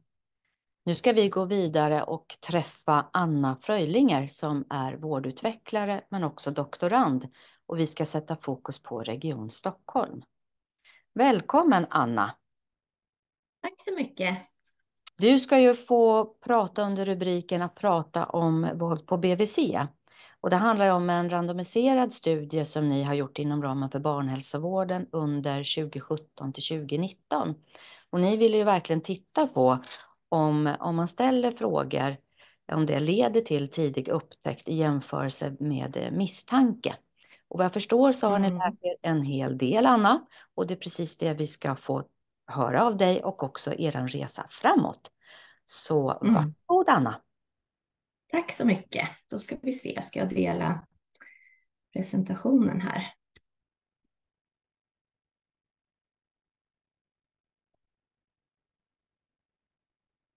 Sådär. Eh, ja, jag vill börja med att tacka så mycket för att jag fått komma hit och vara med här idag och berätta om vårt arbete i Region Stockholm med att eh, prata eh, med föräldrar om våldsutsatthet. Och jag kommer mest fokusera på hur vi arbetar eh, idag och metoden. Ehm, men arbetet som vi har infört det bygger på en randomiserad kontrollerad studie som Cecilia sa som genomfördes på BVC i eh, vår region mellan 2017 och 2019. Och då testades det arbetssättet som, som vi nu har infört. Då. Och eh, det, man utbildade två grupper av sjuksköterskor, det var 100 sjuksköterskor som deltog i den här studien. Eh, och båda grupperna skulle sedan informera om våld på hembesöket. Och den ena gruppen fick ställa frågor eh, på rutin i samband med eh, EPDS-samtalet till alla mammor var det då. Och den andra gruppen fick ställa frågor på indikation, det vill säga om eh, man, upptäckte, eh, man upptäckte någonting, alltså man kände oro för att våld kunde förekomma. Och det kunde vara när som helst under BVC-tiden. Och sen hade vi en kontrollgrupp eh, som jobbade som vanligt och som inte fick någon utbildning inför den här, eh, eh, den här studien. Då. Och resultatet visade att båda grupperna som hade fått utbildning och som ställde frågor aktivt upptäckte betydligt mer våld eh, än kontrollgruppen. Och i gruppen som ställde frågor på rutin så fångades mest tidigare utsatthet. Så det var det. Eh, och där fångades också mest våld överhuvudtaget. Men det handlade mest om tidigare erfarenheter som föräldrarna berättade om då. Och i gruppen som ställde frågor på indikation så fångade man mer av pågående våld. Eh, det var inte så eh, lika ofta som, som sjuksköterskorna ställde frågor på indikation. Eh, men när man väl gjorde det så var det en väldigt hög träffsäkerhet. Eh, så att ehm, det var många som, som svarade ja då när man väl fick frågan om våld pågick. Man intervjuade eh, också föräldrar om hur man hade upplevt att dels få information på hembesöket och dels att få rutinfrågor då på BVC. Och föräldrarna var positiva, precis som mina kollegor i andra regioner har beskrivit här. Man upplevde eh, BVC som en, en lämplig plats att ta upp den här frågan, att sjuksköterskan var en person som man kände förtroende för. Ehm, och eh, sjuksköterskorna fick också frågor om hur de hade upplevt det här och de var också positiva till att eh, lyfta de här frågorna på BVC. Och det arbetssättet som vi har implementerat under 2021 och 2022, det består nu av tre steg eh, där vi lämnar information till eh, alla föräldrar i samband med första hembesöket. Sen ställs rutinfrågor enskilt till alla föräldrar, så att nu har vi ju eh, även enskilda samtal med pappa och icke-födande förälder så att även den andra föräldern får rutinfrågor om våldsutsatthet. Och det tredje steget är att eh, fortsätta att ställa frågor på indikation, alltså vid oro i och med att den här studien visade att vi fångar olika typer av våld Eh, om vi ställer frågor på rutin eller på indikation. Och jag kommer att berätta lite mer ingående om varje steg. Eh, men det här är ju inga enkla saker att ta upp ändå med nyblivna föräldrar. Eh, så sjuksköterskorna eh, efterfrågade också något material att hålla sig till. Så det har vi tagit fram eh, och det är en samtalsguide till sjuksköterskorna och det är, det är en föräldrabroschyr att lämna på hembesöket. Eh, och sen har vi också tagit fram affischer som man kan sätta upp i, i väntrum och på, i besöksrum på BVC. Eh, och sjuksköterskorna har fått, alla sjuksköterskor har fått utbildning och handledning av eh, erfarna psykologer. Eh, och då tänkte jag gå in på varje steg i vår metod. Då. Första hembesöket, då informerar vi föräldrarna om vad våld mot barn är för någonting och vilka konsekvenser det kan få för ett litet barn att växa upp i en familj där det förekommer våld och bråk eh, och skrik. Och föräldrarna eh, anser vi har, vi har rätt att få information om det här. Precis som Carolina pratade om i början så är det här ett stort folkhälsoproblem. Eh, våld i nära relation och våld mot barn. Så precis som vi pratar om andra hälsofrågor eh, som är viktiga för barns utveckling, så, så, som sömn och mat eh, och så, så behöver vi prata även om våldets konsekvenser för barns hälsa och utveckling på BVC. Och eh, i den här föräldrafoldern som, föräldrar, som vi lämnar då på hembesöket så är det eh, en definition på vad våld mot barn är och eh, på baksidan av den korta lilla broschyren så finns det också kontaktuppgifter till olika instanser som föräldrarna kan vända sig till vid behov. Och det är en viktig signal att det finns hjälp att få, att det är det som är syftet med att vi också tar upp det här. Och eh, vi utgår från FNs barnrättskommitté när vi pratar om våld mot barn. Och det här är den definitionen också som står i eh, föräldrabroschyren. Då.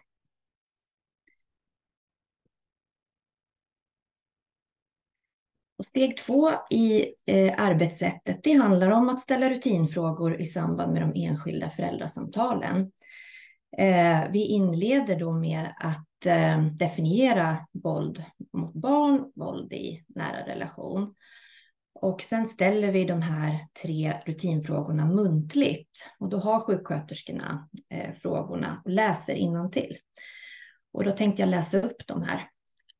Har du någon gång i ditt liv blivit utsatt för våld eller hot av någon person som står dig nära? Som vuxen eller som barn? Är du för närvarande rädd för eller begränsad av din partner eller någon annan närstående person? Och är ditt eller dina barn utsatta för våld på något sätt? Och eh, föräldrarna berättar mycket för sjuksköterskorna under de här samtalen. Och det kan handla om erfarenheter från den tidigare, alltså från den egna barndomen, eller det kan också vara tidigare erfarenheter. Och det, som sagt, och det är mycket av det som, fram, som framkommer när vi ställer de här rutinfrågorna. Men, eh, och det är historier som inte har kommit fram tidigare när vi inte har pratat specifikt om våld. Även om vi har pratat om psykisk ohälsa och mående hos föräldrarna så har man inte lyft precis de här sakerna. Och här har vi en möjlighet att komma in då och erbjuda eh, mer stöd och hjälp utifrån vad föräldrarna berättar. Och sjuksköterskorna beskriver också att de här samtalen fördjupar relationen eh, mellan förälder och sjuksköterska. Och det kan märkas eh, i besöken längre fram, att föräldrar kan komma tillbaka Ehm, och hänvisa till de här samtalen som man har haft eller det samtalet som man har haft eh, tidigare om våldsutsatthet. Och att man då kan berätta antingen att man lever i en våldsam situation eller att man eh, behöver stöd i sitt föräldraskap på olika sätt.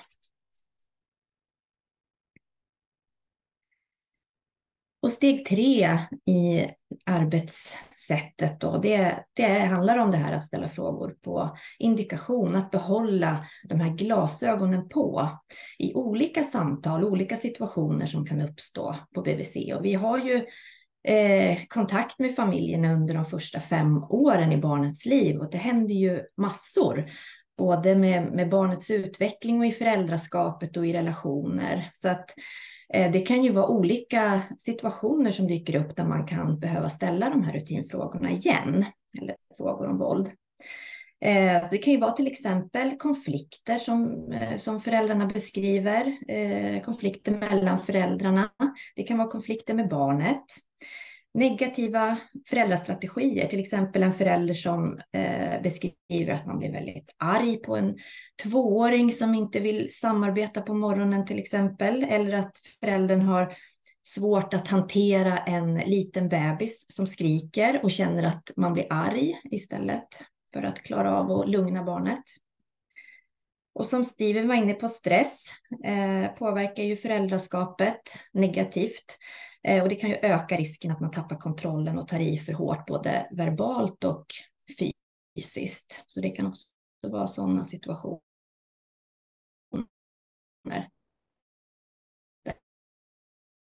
Där det kan vara aktuellt och förälder beskriver en svår, svår social situation eh, med missbruk eller annan utsatthet. Så att det gäller att vara observant på sådana saker som dyker upp under tiden. Och utifrån vad som framkommer i samtalet med familjerna så kan sjuksköterskan eh, behöva lotsa vidare till olika stödinsatser. Eh, och eh, det kan ju finnas olika sådana situationer, så beroende på, på vad, som, vad som kommer upp så, så kan det vara olika, eh, olika saker som är aktuella att prata om, om, om man kan få mer hjälp och stöd. Eh, som jag har skrivit några olika här. Att, kartlägga vad man har för nätverk eh, själv, släkt och, och familj. Eh, delta i olika föräldragrupper, följa med till öppna förskolan kan det ju vara. Socialtjänstens förebyggande enhet eller husläkare, familjerådgivning, psykiatri. Eh, också att vi, vi eh, har en viktig del i samverkan också med både mödrahälsovård och förskola som vi skulle vilja, förskolan skulle vi vilja utveckla mer samverkan med i Region Stockholm i alla fall. Och självklart eh, orosanmälan till socialtjänsten om det framkommer att det pågår våld. Och att eh, eh, lyfta den här frågan på BVC ser vi som särskilt lämpligt eftersom man i den här fasen av livet när man precis har fått barn och ansvar för en ny liten människa är öppen för att faktiskt göra större livsstilsförändringar eller att ändra på saker som, man, som inte fungerar. Eh, och här har ju vi en unik möjlighet eftersom vi träffar nästan alla nyblivna föräldrar på BVC.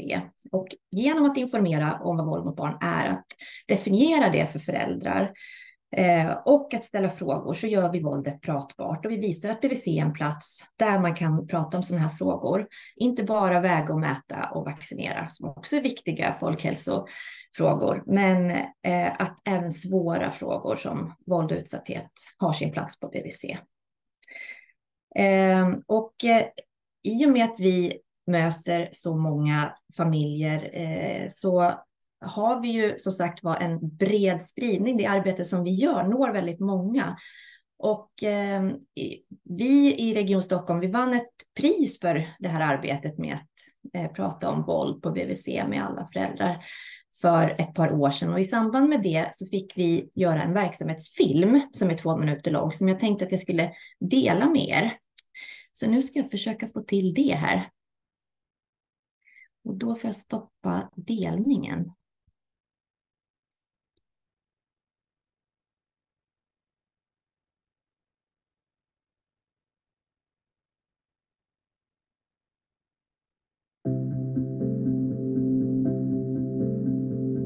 Man är ju väldigt skör som nybliven förälder framför allt. Och får panik över bara tanken på att barn, så små barn framför allt, kan fara illa. Och därför känns det såklart jätteviktigt att BVC frågar, även om det är jobbigt att tänka på och prata om. Barn som upplever våld i hemmet påverkas på väldigt många olika sätt. Dels så påverkas de ju i hur de mår för stunden. De blir väldigt skrämda och väldigt rädda. Även fast det kanske ser ut som de sover eller att de inte upplever våld. Små barn, liksom vi vuxna, är väldigt känsliga för stämningar och vad som händer. Så vi ser att de påverkas i hur de mår på kort sikt. Men vi ser också tyvärr allt för mycket att, att det påverkar hälsan på lång sikt. Hur man mår både fysiskt och psykiskt senare i livet när man blir vuxen. När bebisen är nyfödd så gör vi alltid ett hembesök från BVC. Då informerar vi om vad våld mot barn är för någonting och eh, vilka konsekvenser det kan få för ett barn att växa upp i ett hem där det förekommer våld och mycket bråk och så. Och sen bjuds varje förälder in till ett enskilt samtal på BVC. Och i samband med det samtalet så ställer vi tre rutinfrågor Trots att det är frivilligt att komma till oss på BVC så kommer de allra flesta hit ändå. Och det här ger ju oss en unik eh, möjlighet att upptäcka våldsutsatthet hos barn och föräldrar och våra familjer. När man tänker på det, när vi börjar prata om det så känns det ju som våld mot barn är ett väldigt tungt ämne. Att det är svårt att prata om, att det är känsligt att prata om. Men samtidigt så ser vi att det finns väldigt mycket hopp i att prata om det för att vi kan komma in tidigt och det kan verkligen göra skillnad för barns hälsa och mående eller för familjers hälsa och mående. På barn har varit en fantastisk upplevelse för mig. Ehm, och jag tycker väl att det känns eh, tryggt att BVC ställer de här frågorna till alla föräldrar så att sånt fångas upp.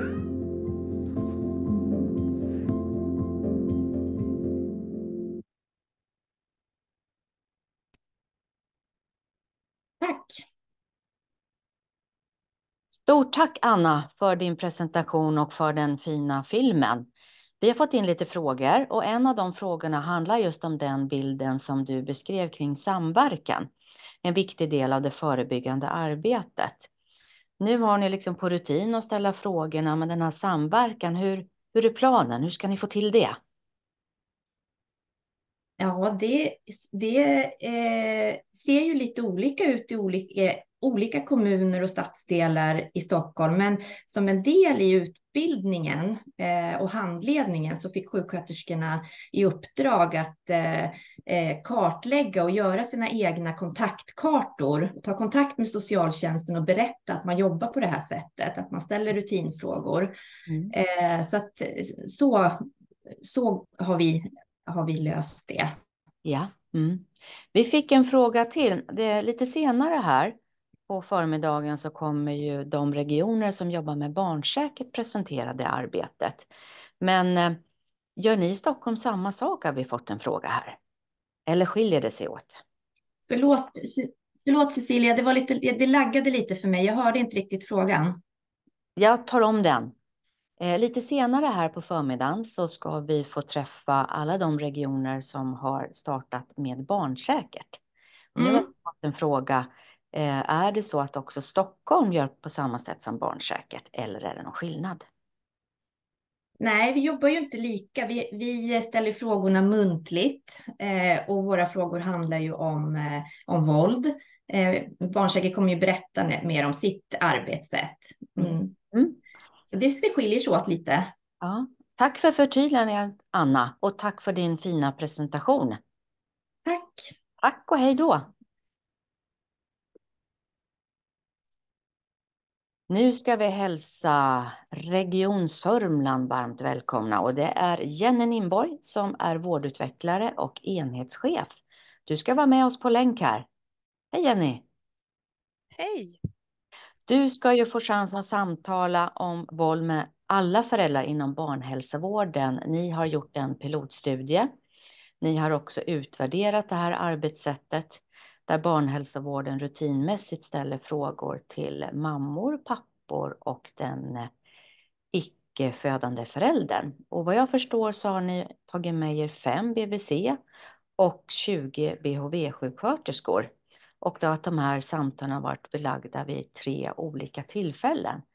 Men jag tänker att du ska få berätta lite mer Jenny om eh, arbetssättet och era resultat. Varsågoda. Tack.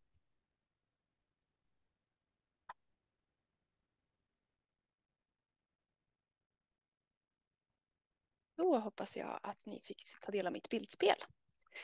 Jenny Nimborg heter jag och är verksam i Region Sörmland Eh, precis som nämndes så ska jag berätta om ett, ett utvecklingsarbete som vi gjorde under 2018 och 2019 här i Sörmland eh, som syftade till att införa ett strukturerat arbetssätt eh, kring samtal om våld med alla föräldrar. Ehm, och det vi gjorde då i samverkan med var faktiskt en BVC som tog initiativet till det här utvecklingsarbetet där man uppmärksammade att eh, det pågick våld i närområdet i en närvårdsstruktur eh, där det här uppmärksammades som gjorde att man tog initiativet att vi behöver inom barnhälsovården eh, uppmärksamma de här barnen och familjerna tidigt. Vi kan göra skillnad. Så jag kommer kort berätta om det strukturerade arbetssättet, om utvärderingen Eh, och, men också kring eh, implementeringen utifrån de resultat som vi fick fram. Så det strukturerade arbetssättet det bestod ju i att då utgå utifrån barnhälsovårdsprogrammet och dess tredelning och skapa en tydlighet hur vi utifrån ett barnperspektiv kan prata om våld inom barnhälsovård. Och där såg vi att det behöver ingå i ett hälsofrämjande samtal, precis som har nämnts tidigare så pratar barnhälsovården om olika faktorer som påverkar barns hälsa. Eh, så här handlar det ju då utifrån eh, liksom våldsperspektivet och hur våld påverkar barns hälsa tidigt kunna eh, prata om det. Eh, men också att vid de enskilda samtalen aktivt samtala och ställa frågor om, om våld. Och till stöd har vi då utarbetat ett frågeunderlag som också innefattar ett samtalsstöd. Eh, och hela arbetet har liksom setts som en förstärkning av redan eh, liksom pågående eller det befintliga barnskyddsarbete som finns inom barnhälsovården där vi aktivt ska uppmärksamma barn som far illa på olika vis. Och det vi gav då till, till BHV-sköterskorna var utbildning eh, i både våld men också metod eh, och förhållningssätt. Eh, kontinuerlig handledning säkrades upp eh, och eh, möjlighet till konsultation. Och vi gjorde det här i samverkan med våra eh, psykologer, psykologer inom barnhälsovård. Eh, och det som var viktigt då var ju då tydliggöra eh, hur det här skulle då se utifrån barnhälsovårdsprogrammet och dess tredelning, där då alla de här delarna ingår, det vill säga att redan vid hembesöket prata om våld och också bjuda in till de enskilda föräldrasamtalet eh, till varje förälder. Men också att visa vad gör jag när det finns ett behov av eh, ett riktat stöd. Och det vi såg i resultatet var just att vikten av att få utbildning, det skapar trygghet, att man förstår vad, varför ska vi prata om våld, men också att, de här, att, att det finns etablerade och tydliga rutiner, det skapade också trygghet. Vi såg också att ställa frågan till alla, var någonting som möjliggjorde. Ehm, och det var också viktigt att veta vad gör jag med svaren jag får så att det finns en tydlig vårdkedja. Och det var också tydligt att den inte riktigt var känd sedan tidigare. Så eh, kort bara om hur det här såg ut, det här strukturerade arbetssättet. Det var en rutin som tydliggjorde alla delarna i det strukturerade arbetssättet. Det innefattade också ett samtalsstöd med öppna frågor, utforskande frågor för att ta reda på mer. Eh, som ni ser så använder vi samma frågor som man gör i Stockholm, ehm, nästan precis. Jag såg en liten skillnad. Eh, och det var också därifrån vi fick frågorna när vi började utveckla det här arbetssättet. Eh, vi tog också fram ett flödesschema för att tydligt visa på vad gör jag med svaren jag får, alltså utfall utifrån de här tre olika frågeställningarna som både handlar om tidiga erfarenheter, Eh, otrygghet i, i nuvarande relation eller att man uppmärksammar ett pågående våld. Och vad såg vi då? Och den här bilden ska då illustrera eh, antal samtal och frågor som genomfördes vid de här olika delarna i det strukturerade arbetssättet. Och det man kan se, det man kan liksom, Eh, sammanfattningsvis säga att föräldrar som kom till både hembesök och de enskilda samtalen, de erhöll i väldigt, väldigt hög utsträckt både samtal och frågor om våld. Ehm, det var 94 procent av föräldrarna vid hembesöket som, som fick eh, samtal om våld. Och vid de enskilda samtalen så var det 95 procent av mammorna och 94 procent av papporna som kom. Däremot så hade vi lite svårare att nå eh, papporna, alltså den icke födande föräldern. Och det återkommer jag till längre fram. Men vad vi såg då var att Jo, BOV-sköterskorna de beskrev verkligen att de gick från att vara i början ganska osäkra. Det här var någonting nytt, eh, någonting som man kanske inte var så van att prata med om. Men att man över tid utvecklade en prof alltså ett professionellt förhållningssätt. Och det handlade mycket om att man ställde frågan till alla ju fler gånger man pratar om våld, ju fler gånger man frågar, desto tryggare blir det och man blir mer säkrare i sitt sätt att förhålla sig till den man möter. För det kunde också se väldigt olika ut. Och uppfattningen om vad våld är, som också tidigare nämnts, såg vi att det kunde också vara stora skillnader i vad man definierade som våld och inte. Det vi också såg var att samtal och frågor om våld, även om det inte ledde till ett utfall, så öppnade det upp för väldigt att prata om mer känsliga frågor. Man kunde berätta om tidigare missbruk eller andra svårigheter under sin egen barndom som förälder, vilket då föranledde till, liksom, till att kunna aktivt erbjuda ett stöd även i de frågorna. Eh, man tränade sig också i att förhålla sig till de här samtalen. Hur utforskar jag mer? Hur kan jag liksom avgränsa? Hur förhåller jag till mig? Det var någon som sa det är ibland som att öppna liksom Pandoras ask. Och det behövde man träna sig i och man behövde ha möjlighet till de här konsultationsmöjligheterna. Man upplevde också att det var ett väldigt stort stöd att ha just tydliga rutiner, att något att hålla sig i. Man vet Eh, vi såg också att i de, i de enskilda samtalen så gick det ju både, ingick det både att ställa frågor om psykisk eh, hälsa eh, och frågor om våld. Och det här såg vi att det föll väldigt väl ut. Man gjorde det i väldigt hög utsträckning. Mm. Enskilt föräldrasamtal till den icke födande föräldern var också nytt. Det hade vi inte infört i Sörmland sedan tidigare. Så det här blev både ett nytt i att samtala och fråga om våld, men också att inkludera den icke födande föräldern. Och man kan säga att det var väldigt, väldigt positivt. Man upplevde tidigare att den icke födande föräldern har varit ganska exkluderad och det var fint att inkludera föräldern. Och det här beskrevs både från profession men också från mammor och pappor. Ehm, men däremot så var det vissa, man såg att det fanns möjligheter men också utmaningar. Och man såg tidigt att att inkludera pappor vid hembesöket, ja det såg vi, det hade faktiskt en signifikant skillnad i om pappor deltog vid de enskilda föräldrasamtalen. Så det blev en viktig del att verkligen få med eh, båda föräldrarna vid hembesöket, för det gav bra förutsättningar. Vi också, hade också en ganska stor andel eh, föräldrar med utländsk härkomst och här såg vi att vi hade helt enkelt svårare att nå dem. Man behövde vara mer flexibel, eh, exempelvis kunna möta upp digitalt. Eh, men det var sånt som påverkade möjligheten till att delta vid, den, vid de enskilda samtalen.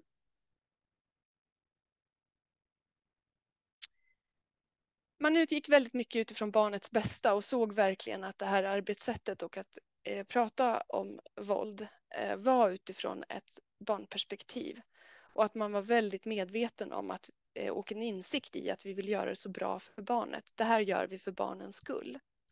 Däremot så hamnade man i en del dilemman när man faktiskt uppmärksammade eh, att det fanns ett behov av en orosanmälan eh, eller annat riktat stöd eh, att verkligen ta vid och eh, genomföra. Men det var också någonting som man blev tryggare med med tiden.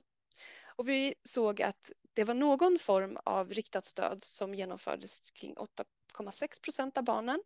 Vi såg att eh, anmälningar till socialtjänsten ökna, ökade. Vi har tidigare legat på ungefär en halv, en halv procent, eh, men i den här piloten såg vi att det genomfördes vid 1,5 procent.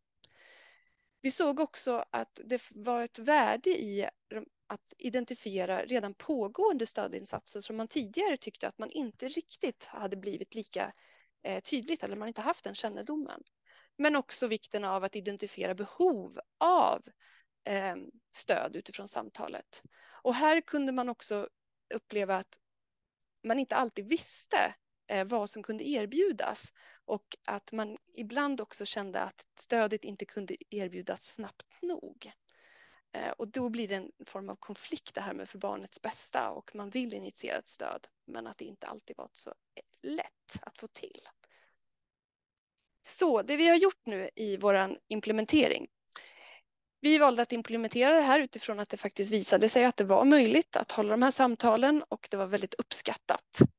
Så vi, vi införde det här vid 20, år 2021 och vi hade en stor utbildningsinsats där vi hade tagit lärdomar av hela projektet och försökte eh, göra det bästa möjliga utifrån de lärdomarna. Vi har också lagt in det i vår introduktionsutbildning som ges till alla nya medarbetare eh, som arbetar inom barnhälsovård.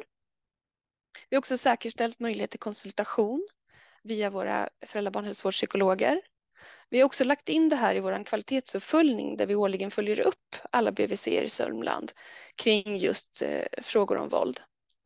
Och vi tänker också att det är viktigt att frikostigt kunna erbjuda ett riktat stöd. Så hur har det gått? Ja, vi har ju följt det här då. Nu är det här för 2021 och 2022.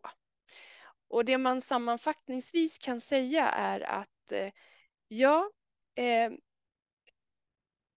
eh, de födande föräldrarna, precis som i piloten, har, får eh, fler enskilda samtal där vi både frågar om psykisk hälsa, det vi har vid EPDS som vi använder, och man frågar i högre utsträckning om våld. Medan icke-födande föräldrar, där använder vi Willy-frågor för att identifiera eh, psykisk ohälsa eh, och sam samma frågor om våld. De når vi i lägre utsträckning. Så vi behöver verkligen fortsätta arbeta för att eh, uppnå en jämlik barnhälsovård för alla barn och för föräldrar i vårt län. Så en liten konklusion. Ja, men det man kan säga är att helt klart att barnhälsovården är en arena för att, att samtala om våld utifrån ett barnperspektiv. Vi vet att båda föräldrarna behöver inkluderas redan från början. Eh, samtal om våld på rutin ger ökad kännedom om behov av, om, av behov av stöd men också erhållet stöd. Och det behöver finnas en säkrad vårdkedjan, alltså man behöver veta vad gör, en, vad gör jag av svaren jag får. Och vi måste fortsätta följa och stödja det här införandet och vara väldigt lyhörda för behoven eh, utifrån de här samtalen och kunna göra justeringar över tid. Tack! Stort tack Jenny för din fina presentation och det kommer in frågor även till dig. Eh, och det handlar om eh, hur skiljer sig det här handledning från konsultation i er studie? Ja, handledning i pilotstudien, det, var, eh, det sköttes av projekt, liksom projektgruppen som hade mm. utformat eh, metoden och arbetssättet.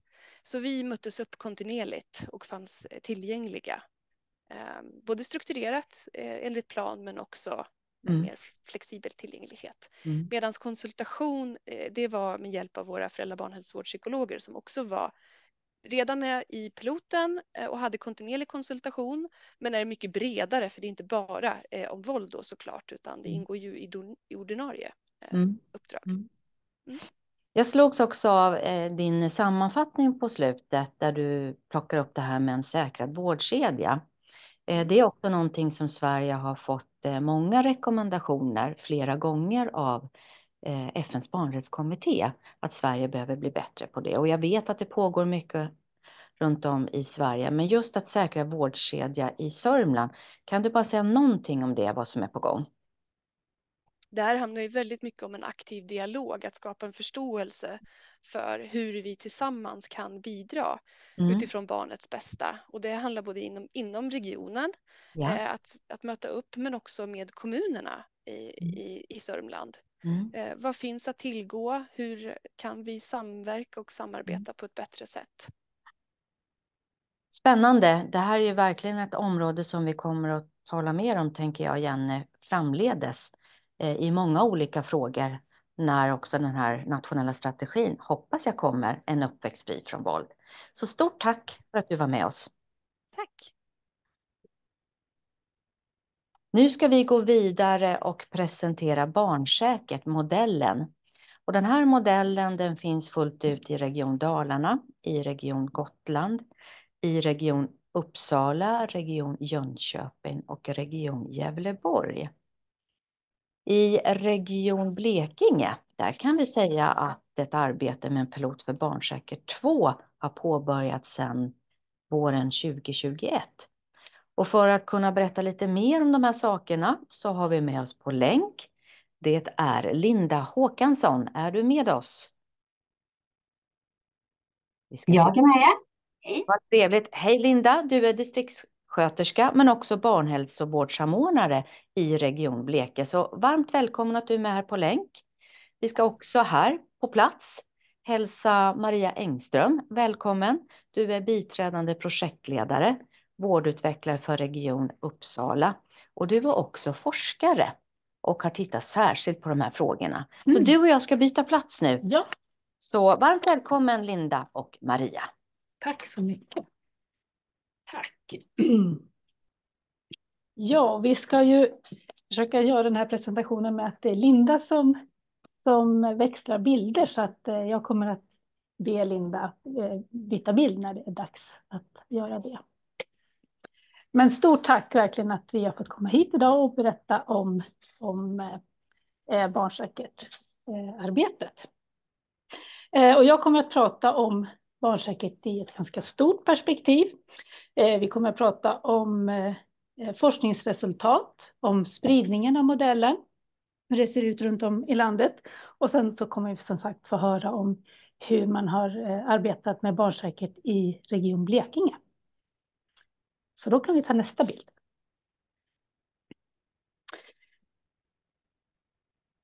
Vi vet att ekonomisk utsatthet, Eh, depression, nedstämdhet, extrem föräldrastress, riskbruk, missbruk av alkohol och våld i nära relationer, att det är vanliga problem.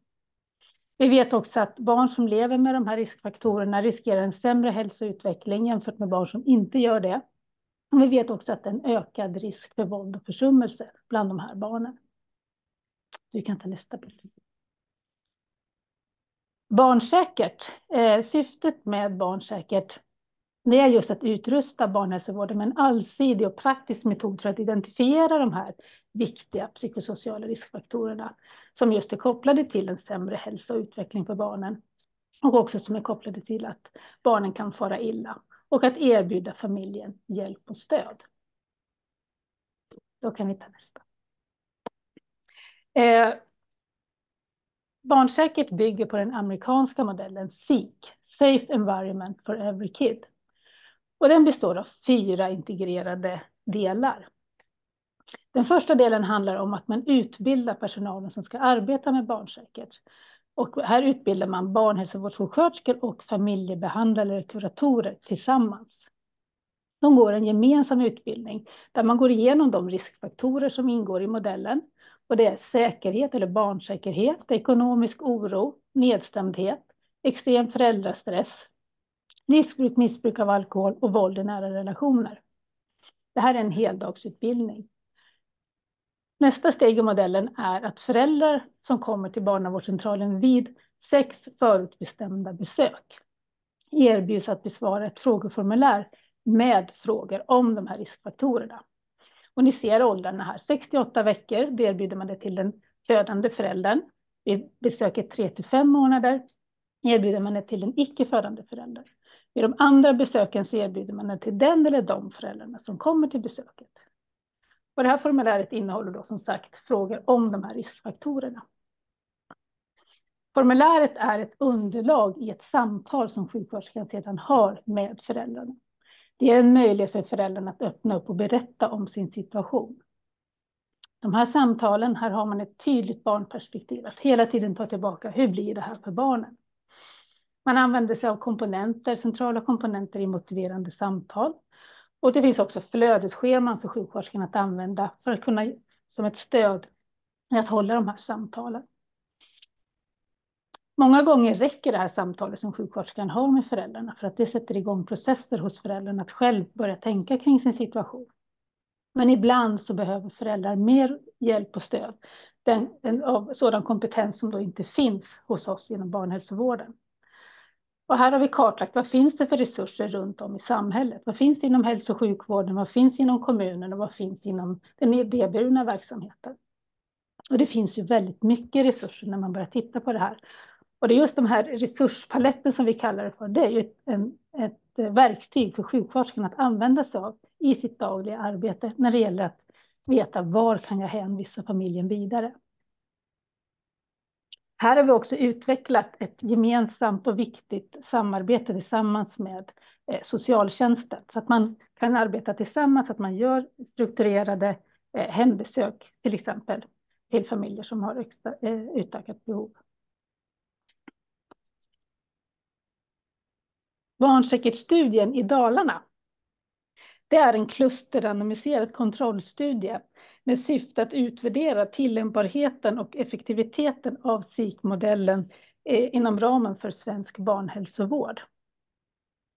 Eh, och här har vi gjort en intervention som pågick under två år. Den pågick mellan april 2018 till mars 2020.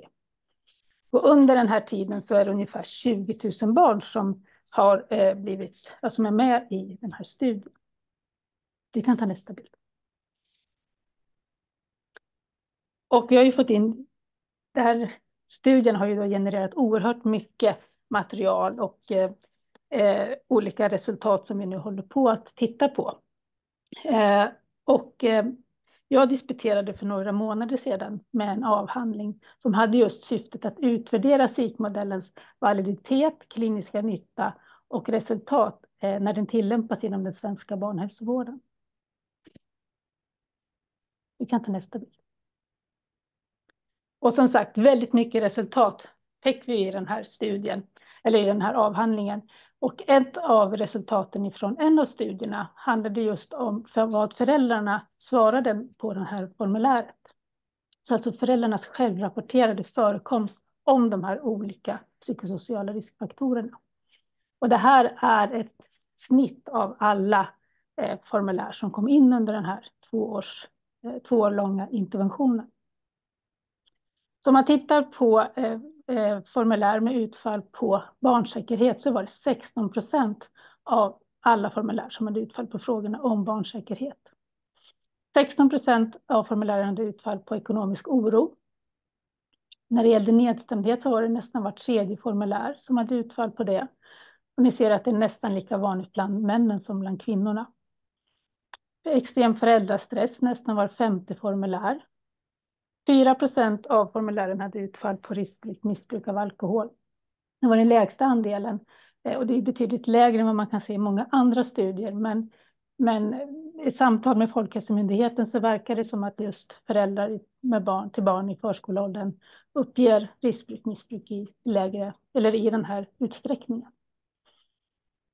Och ungefär var tionde formulär hade utfall på våld i nära relationer, nuvarande eller tidigare erfarenhet och nästan dubbelt så vanligt bland formulär som besvarade av en, av en kvinna jämfört med män. Så mer än hälften av de här formulären hade ett utfall. Så föräldrar berättar. Föräldrar berättar i en förtroendefull relation med sin BHV-sjuksköterska. Vi kan ju aldrig veta om alla föräldrar berättar, men ändå så många som 52 procent. Vi kan ta nästa bild. Om man sen tittar på eh, samma siffror, men tittar utifrån ålder på barnet och hur många av formulären som då hade utfall. Så vid besöken 6 till 8 veckor så var det 56 procent eh, av formulären ett utfall på någon eh, riskfaktor. Vid besöket 8 till 10 månader så var siffran 53 procent. Om ni tittar sen 18 månader, 2,5 och 4 år, det är är runt hälften av alla formulär som hade ett utfall inom minst ett riskområde. Så det är viktigt just det här som det tyder på hur viktigt det är att vi frågar flera gånger. Det här är problem som finns under barnets hela tid inom barnhälsovården. Då kan du ta nästa bild. Så slutsatserna från avhandlingen som som jag skrev, den visar då på att resultatet, resultaten tyder på att SIK-modellen har en hög grad av validitet och klinisk användbarhet i en barnhälsovårdsmiljö. Det visar att BHV-sjuksköterskorna ansåg att det var både viktigt och relevant för deras arbete att, att just identifiera psykosociala riskfaktorer. Man ansåg att det var mycket viktigt. Och att arbeta enligt psykmodellen det stärkte sjuksköterskans kunskap, kompetens och känsla av trygghet. Just att uppmärksamma de här riskfaktorerna. Och när vi tittade på just frågeformuläret, att frågorna i det, så identifierade de de flesta föräldrar med och utan de här riskfaktorerna på ett korrekt sätt. Och många föräldrar berättar om sina problem för BHV-sjuksköterskan, vilket då ger en möjlighet till ett stöd som kanske annars hade riskerat att eh, missas. Kan vi ta nästa? Eh, du kan ta nästa bild. Nu tror jag vi hoppar, hoppar till nästa. Där. Ja, och eh, Blekinge, implementeringen hos oss, den startade under 2021. Och eh, här hade vi två kommuner som kom igång och ett område i en tredje kommun och därefter blev det en successiv implementering. Eh, I implementeringen så har vi utgått från ett ramverk som bygger på evidens, eh, alltså det är tre faktorer, evidens, kontext och facilitering.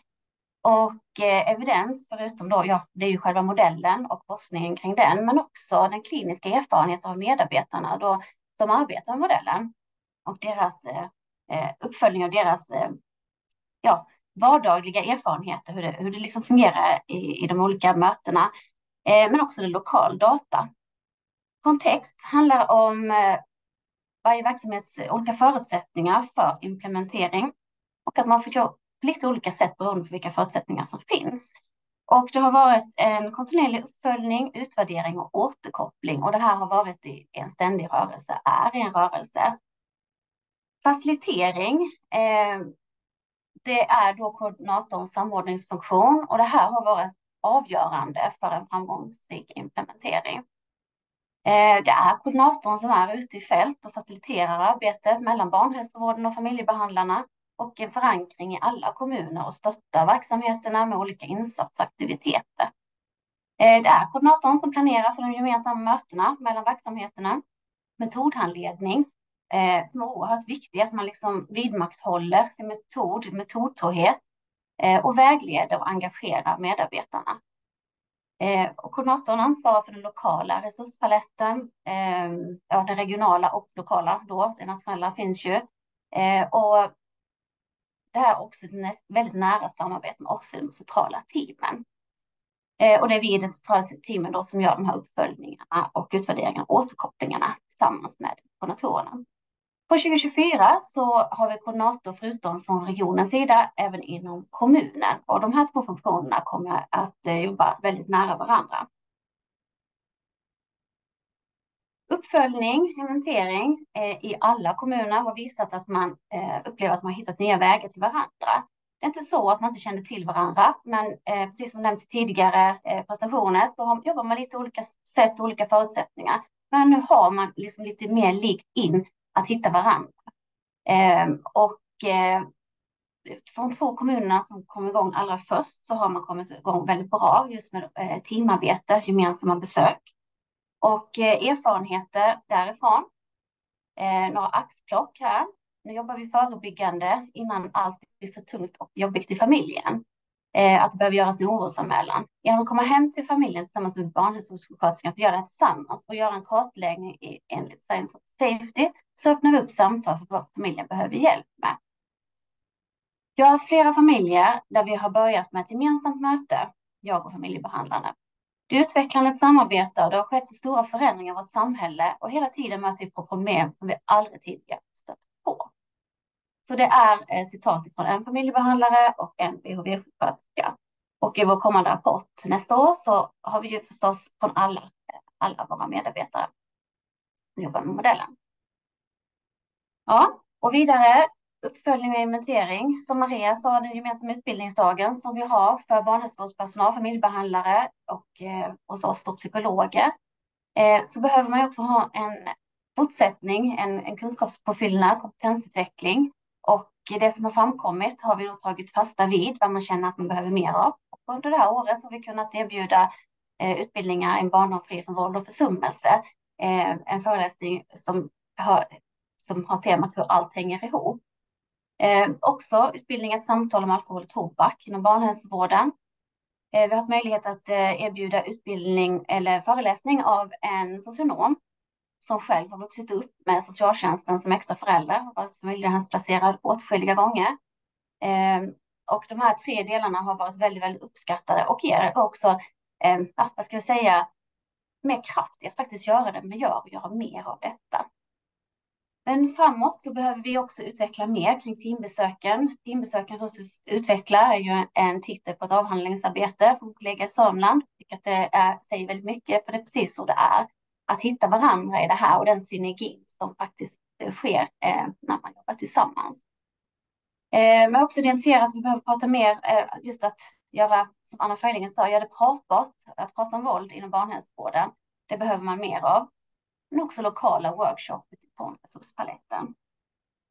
Eh, och även om vi nu liksom är klara med implementering och det, så är det ju ett ständigt eh, fortsatt arbete med utveckling och förvaltning. Eh, så det fortsätter framöver såklart. Ja, eh, och jag ska bara avsluta med några ord just kring den här nationella spridningen som Cecilia då inledde med. Att det används ju fullt ut idag, barnsäkert, då, i sex olika regioner. Eh, men vi har också eh, regioner och kommuner som håller på att testa och håller på med piloter och som har kommit olika långt och några är väldigt nära att man är fullt att man har in, in, eh, infört det här i alla, i, i hela regionen. Och det är de här orangefärgade eh, regionerna. Och sen har vi de gulfärgade regionerna där, där det finns ett intresse och en, en planering som pågår eh, att, att vilja starta upp. Och eh, vi har kontakt med ytterligare regioner utöver det här. Så det är fantastiskt roligt hur barnsäkert sprider sig runt om i vårt land. Så kan vi ta sista bilden. Eh, ja, och i och med det så att vårt arbetssätt barnsäkert sprider sig så har vi nu en ny fas i vårt arbete. Att vi jobbar för att spridningen av barnsäkert, att kunna vara ett stöd och en hjälp för det eh, när nya regioner ska eh, påbörja och eh, kunna ta, ta lärdom av de utmaningar och de framgångsfaktorer som vi faktiskt eh, ser på olika eh, håll i Sverige. Och för att kunna samordna det här så behöver vi en nationell samordning och vi har nu fått statsbidrag från Jämställdhetsmyndigheten för att jobba med de här sakerna. Eh, och det här gör vi tillsammans med Allmänna Barnhuset. Eh, det känns fantastiskt roligt och spännande att eh, se hur det här ska bli framöver. Så eh, ni som vill läsa mera så finns det en slutrapport att ladda hem från Allmänna Barnhusets hemsida. Eh, så den eh, finns tillgänglig där. Så med det så vill jag tacka.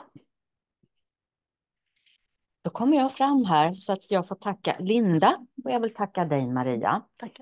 Vi har fått in en fråga som berör det här med kulturella och religiösa aspekter i barnens vardag och närmiljö. Hur, hur jobbar ni med de frågorna, Linda och Maria? Ni får svara var och en tänker jag. Vill du börja Linda?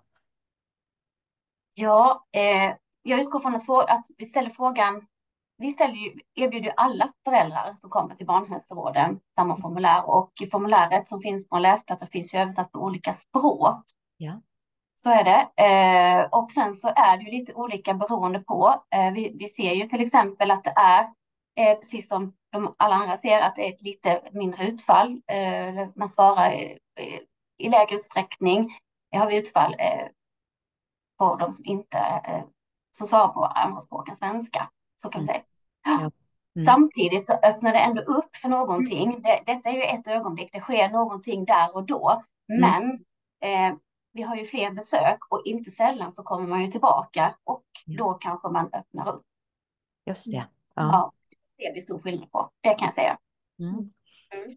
Maria, vill du komplettera mm. någonting? Eller? Nej, jag tyckte ja. att Linda sa det här så bra, just mm. att det här är någonting vi erbjuder alla, det är mm. universellt utifrån det så kan vi ge ett riktat stöd till de som faktiskt behöver eh, behov av hjälp och stöd. Mm. Eh, så det är bra. Sen jobbar vi för att eh, vi har ett projekt också på gång just att främja eller hur vi kan nå de här familjerna som har en tveksamhet kring att svara på den här typen av frågor. Ja.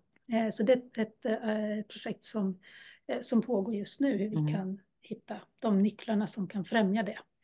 Vad spännande mm. och att också ni har redan översatt vad jag förstår formuläret på flera olika språk. Hur många mm. olika språk finns det på? På 12 olika språk. 12 olika mm. språk. Mm. Ja, vad fint. Mm. Eh, jag har en fråga till till dig Linda, därför att jag blev så intresserad av de här lokala workshopen. Eh, vad du tänker dig. Ni har inte mm. gjort det, men framtiden. Berätta, vad finns det för komponenter då med? Jo, men alltså vi sitter ju här med en unik möjlighet. Vi har en resurspalett som är en guldgruva skulle jag vilja säga. Mm. Och även om man jobbar i, sitt, i sin lilla, i sitt lilla sammanhang, ska jag inte säga, för i en kommun så har man inte kunskap om allt som kan erbjudas. Ja. Och i de lokala workshopparna så handlar det om att, att eh, knyta ihop detta, inte bara ha en kontakt till exempelvis vad, vad det nu kan vara inom kommunen. Vi kommer mm. satsa ganska mycket på att få ta del av de olika föräldrastödsprogrammen som erbjuds inom kommunen, att utbildarna för dem är ett exempel på lo lokal workshop. Eh, mm. Mycket fokus på föräldraskapsstödet exempelvis, men också andra aktörer. Vad är det som finns för någonting? Att man får möta de här eh, arenorna, aktörerna, eh, mm. för då kan det bli än mer att man använder sig av resurspaletten. För som mm. vi sa, tanken är inte att man ska sitta och lösa detta. Vi har inte kompetensen. Eh, allt ska inte lösas inom barnhälsovården. Vi identifierar, behöver ju också kunna guida vidare till de som är bäst på det som utfallet handlar om. Mm. Mm. Jätteintressant. Så stort tack Linda och Maria mm. för att ni delade med er. Så ska vi gå mm. vidare. Ja. ja. Mm. Eh, och att vi nu går vidare. Det handlar om att nu har ni fått presenterat flera olika modeller. Nu ska vi istället titta just på vad kan vi lära av de här goda exemplen som vi har lyssnat på. Hur kan vi nyttiggöra de här kunskaperna och erfarenheterna och hur kan man faktiskt omsätta dem till praktisk handling? Det handlar ju faktiskt om att Sverige ska få jämlika förutsättningar. Så jag tänker, hur kan vi följa upp att de här förändringarna som genomförs leder till verkliga förändringar? Eh, och då har vi en expert med oss här som är superduktig på implementering och förbättringsresor. Det är vår styrelseledamot Boel Andersson Järe, men som också är barnläkare och professor vid Jönköpings Academy for Improvement of Health and Welfare. Välkommen Boel fram. Tack, Vi ska byta plats. Jaha. Så återkommer jag till dig sen. Varsågod. Amen, så trevligt. Och tack för att jag får vara här och ta det här med, som ligger mig varmt om hjärtat. Jag har ju en gång i tiden varit barnhälsovårdsöverläkare och var det någon fråga som skavde på den tiden så var det ju ofta att ja men vad gör vi när vi anar att någonting finns men vi inte riktigt får upp det i luften och så då när barn far illa och så. Så att det här känns ju oerhört angeläget allt som har kommit fram under dagen med de här metoder och så som vi kan upp. Och jag tänker verkligen att den här rapporten blir förhoppningsvis en riktig kioskvältare i både kommuner och regioner och att den verkligen kommer till användning och att man omsätter den kunskapen och det lärande som finns här. Så jag är ju jätteglad att vi också fick bidra med ett kapitel om, ja men nu har vi all den här kunskapen och vetande, men sen då?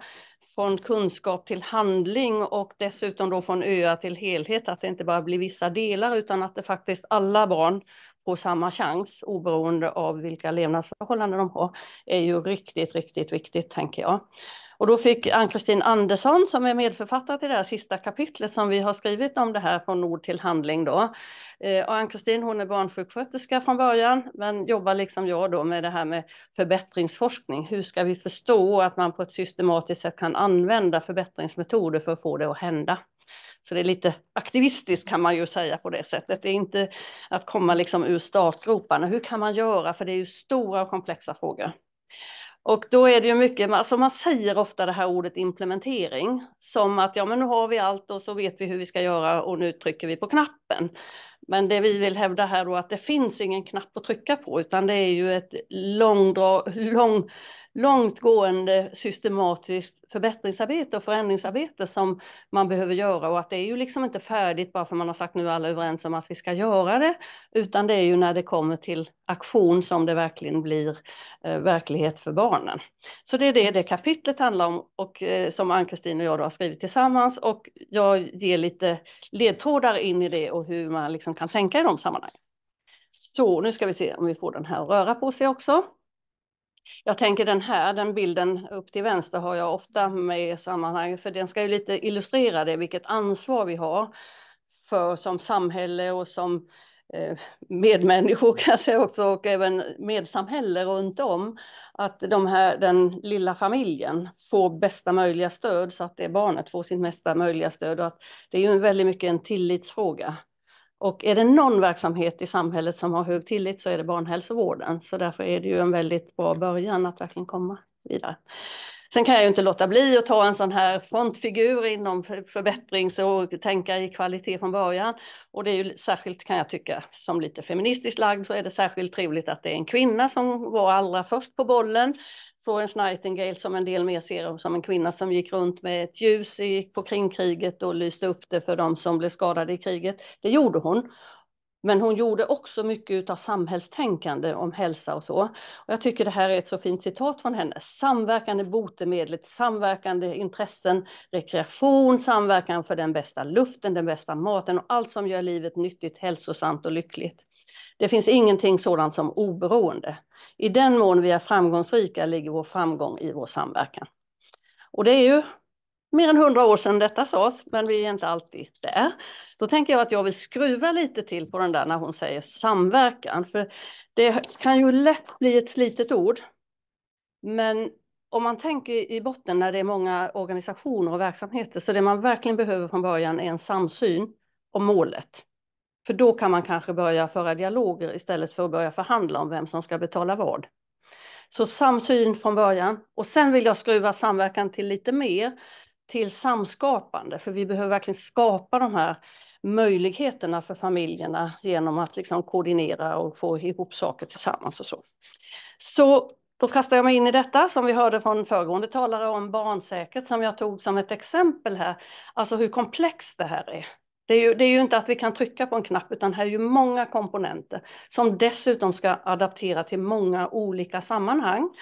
Och den här har ni ju sett från Maria förut så jag går inte in på den närmare nu men ni ser ju själva hur mycket olika eh, boxar det är och att jag skulle vilja säga också när det verkligen kommer till verkligheten så är det ju inte bara linjärt, utan det här kan ju pågå tillsammans och i en olika sekvenser beroende på var man står i processen. Men det är ändå bra att ha någon ordning och reda där i botten för att se hur det kan gå till. Så min nästa bild handlar om det här med att det införs ju dessutom i ett komplext system. Och det här är en bild från Jönköpings län eh, ett eh, projekt eller ett program som, som vi eh, fick göra tillsammans där med många aktörer i kommun och i civilsamhället och regioner och så som vi kallar för barndialogen. Och då identifierade, man kan säga att det här är med ett fint ord en intressentanalys. Vilka organisationer och verksamheter handlar faktiskt om att stötta barn eller kan vara med på den delen. Och då identifierade vi, satt ju från alla olika dessa verksamheter, vi sa, och, så, och hur ser det här systemet ut då från barn och familjers sida? Ja, det är inte så lätt om vi inte snitslar vägen och hittar runt i det här. Var ska man få stöd för vad? Och det var det vi försökte göra när vi började jobba med processer då. Va? Vem kan bidra i den här frågan till den här familjens behov? Och där tror jag vi är på många sätt fortsättningsvis. Och det blir ju en av de viktiga delarna när man ska nyttiggöra den här kunskapen och få igång de här processerna. Att man verkligen har gjort en intressant analys om man säger sig. Vilka kan vara med och bidra? För vi säger gärna var och en att vi har inte nog med resurser. Men när man ser en sån här bild så finns det många som kan vara med och bidra. Så det är mitt budskap med den bilden. Och utgångspunkten är familjen. Då. Då är min utgångspunkt, för eftersom jag tänker på det här med, det är lätt att ha det här ordet implementering och implementeringsforskning är ibland för linjär när det handlar om komplexa interventioner i komplexa kontexter. Så därför så använder vi, Ann-Kristin och jag, vi har utgått för, från kvalitetskonceptet och därifrån till hur, hur blir då förändringar till förändringar som faktiskt är förbättringar, för det är ju det vi vill ha. God vård, kanske några av er som har varit med länge känner igen. Den kom från Socialstyrelsen 2012, kom det just den här skriften, som talade mycket om detta. Och vad är då god kvalitet? Jo, verksamheten ska vara säker, kunskapsbaserad och ändamålsenlig. Där har vi de här olika exemplen jag fått idag. Personcentrerade, denna familjen vi utgår från i mötet effektiv, alltså vi ska ju göra det förstås så bra som möjligt för de resurser vi har. Och jämlik, där har ni ju en huvudpunkt i detta. Alla barn samma möjligheter, men inte samma för alla barn utan utifrån behov och i rimlig tid. Alla de här komponenterna skulle jag säga har barnhälsovården möjligheter till och har redan en bra grund i. Men då gäller det ju att också vara en adaptiv och flexibel och kunskapstörstande organisation, vilket det ju är. Och då tar jag min nästa bild från det. Ja, men då från det här som vi ville. Nu vill den inte röra sig. Jo, där började den sig. Eh, några förbättringslagar. De kan vara lite bra att tänka på ibland här. Varje system är perfekt designat för det resultat det ger. Är ni med på den?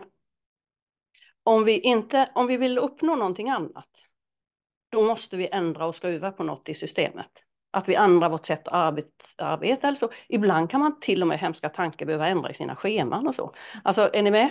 Det, det, är detta som är det svåra. Men då behöver man också förstå sitt system, för annars är det inte så lätt att skruva i det. Alla förändringar är inte förbättringar. Det vet vi alla som har varit i någon verksamhet under ett antal år. Men alla förbättringar kräver förändring. Är ni med på den med? Och då måste man ju ha någon sorts plan eller idé om hur det ska gå till och då kan man tänka till exempel så här. Paul Batalden där nere, gubben till vänster eller gentlemannen till vänster.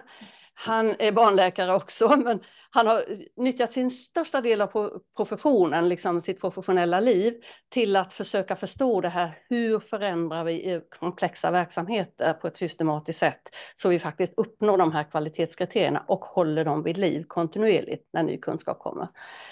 Eh, gentlemannen till höger heter Deming och han var en av de här förgrundsgestalterna i kvalitetsutveckling, systematisk kvalitetsutveckling. Och det Paul gjorde då för många år sedan är den här bilden.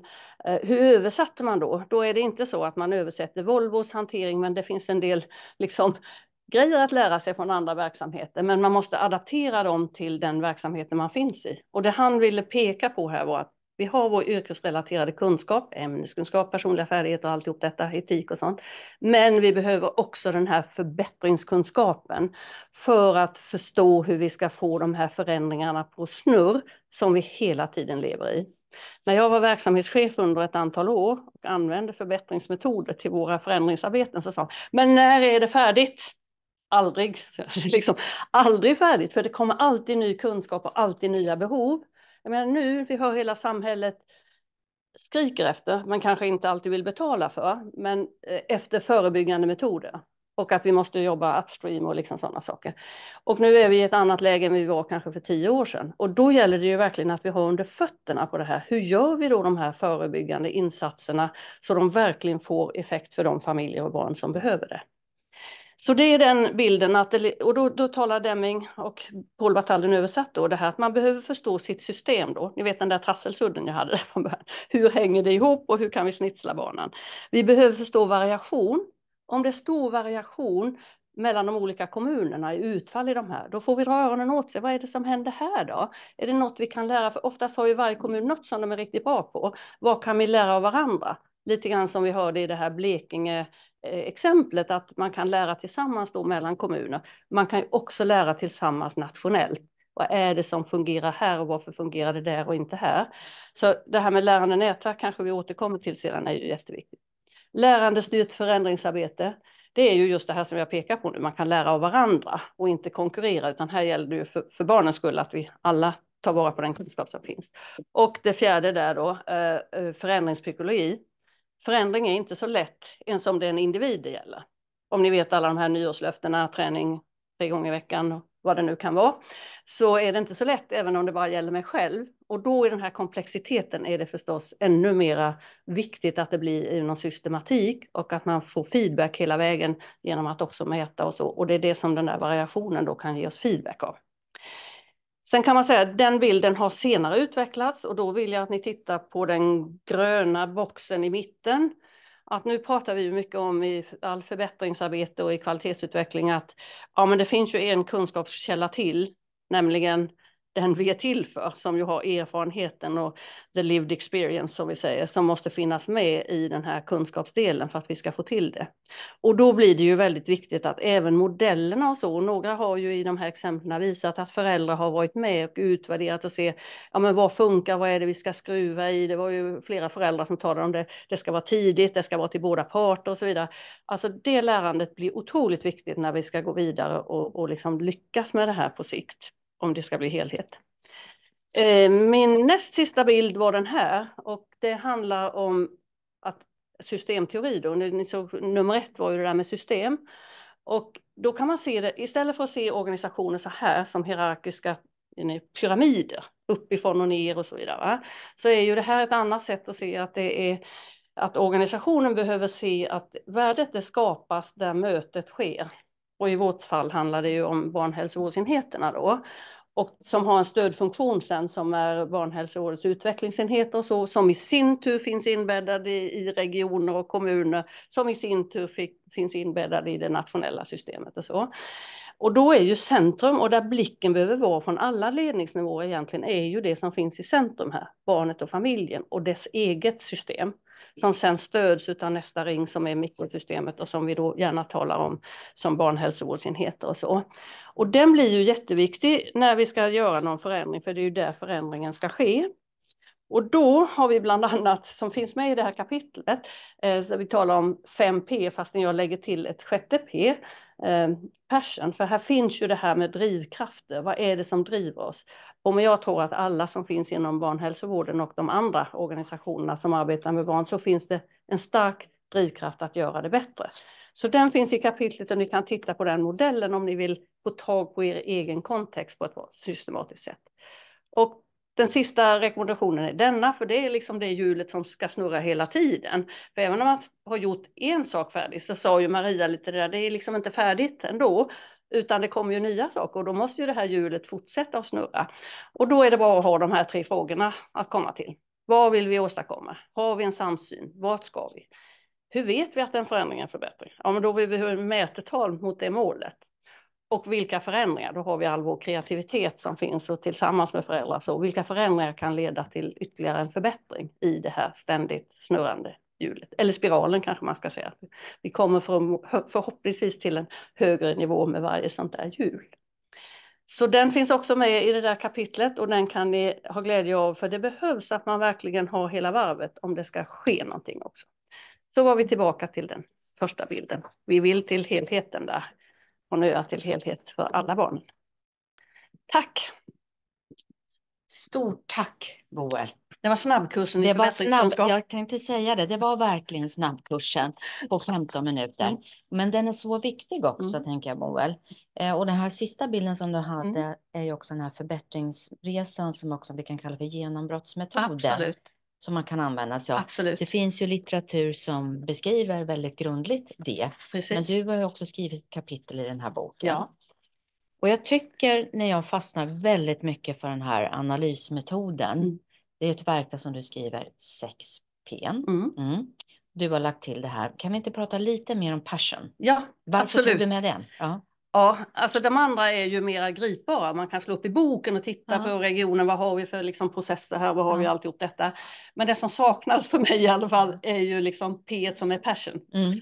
För, och den här liksom, det här drivs ju väldigt mycket av den inre drivkraften. Man Mm. sitter inte och tittar på klockan utan man möter den här familjen. Ja. Och det är detta jag är intresserad av och så. Mm. Och när vi har haft våra masterstudenter som ju får, är skolade i det här med mikrosystem och 5 plus 1 P då, Ja. så har de väldigt gärna med det här sjätte P. För när de går ut och har intervjuer då i sin egen verksamhet Ja. Så är det det som blir den verkliga diskussionen. För det andra kan man hitta i papper men det man talar om blir det här med passion. Mm. Så det är ju något jag verkligen vill skicka med i det här sammanhanget. Tala om vad det är som driver, vad är det som gör att det här är så angeläget och att jag tycker det, det blir, även om det är svåra frågor så blir det ju någon sorts glädje i arbetet att man bidrar då. Mm. Mm. Och jag tänker också väldigt mycket på hur det skulle omsätta. Det här är nya saker Mm. och man får bli kreativ. Hur inbjudande det ska vara med de medarbetarna och chefer Mm. att jobba ständigt med det här.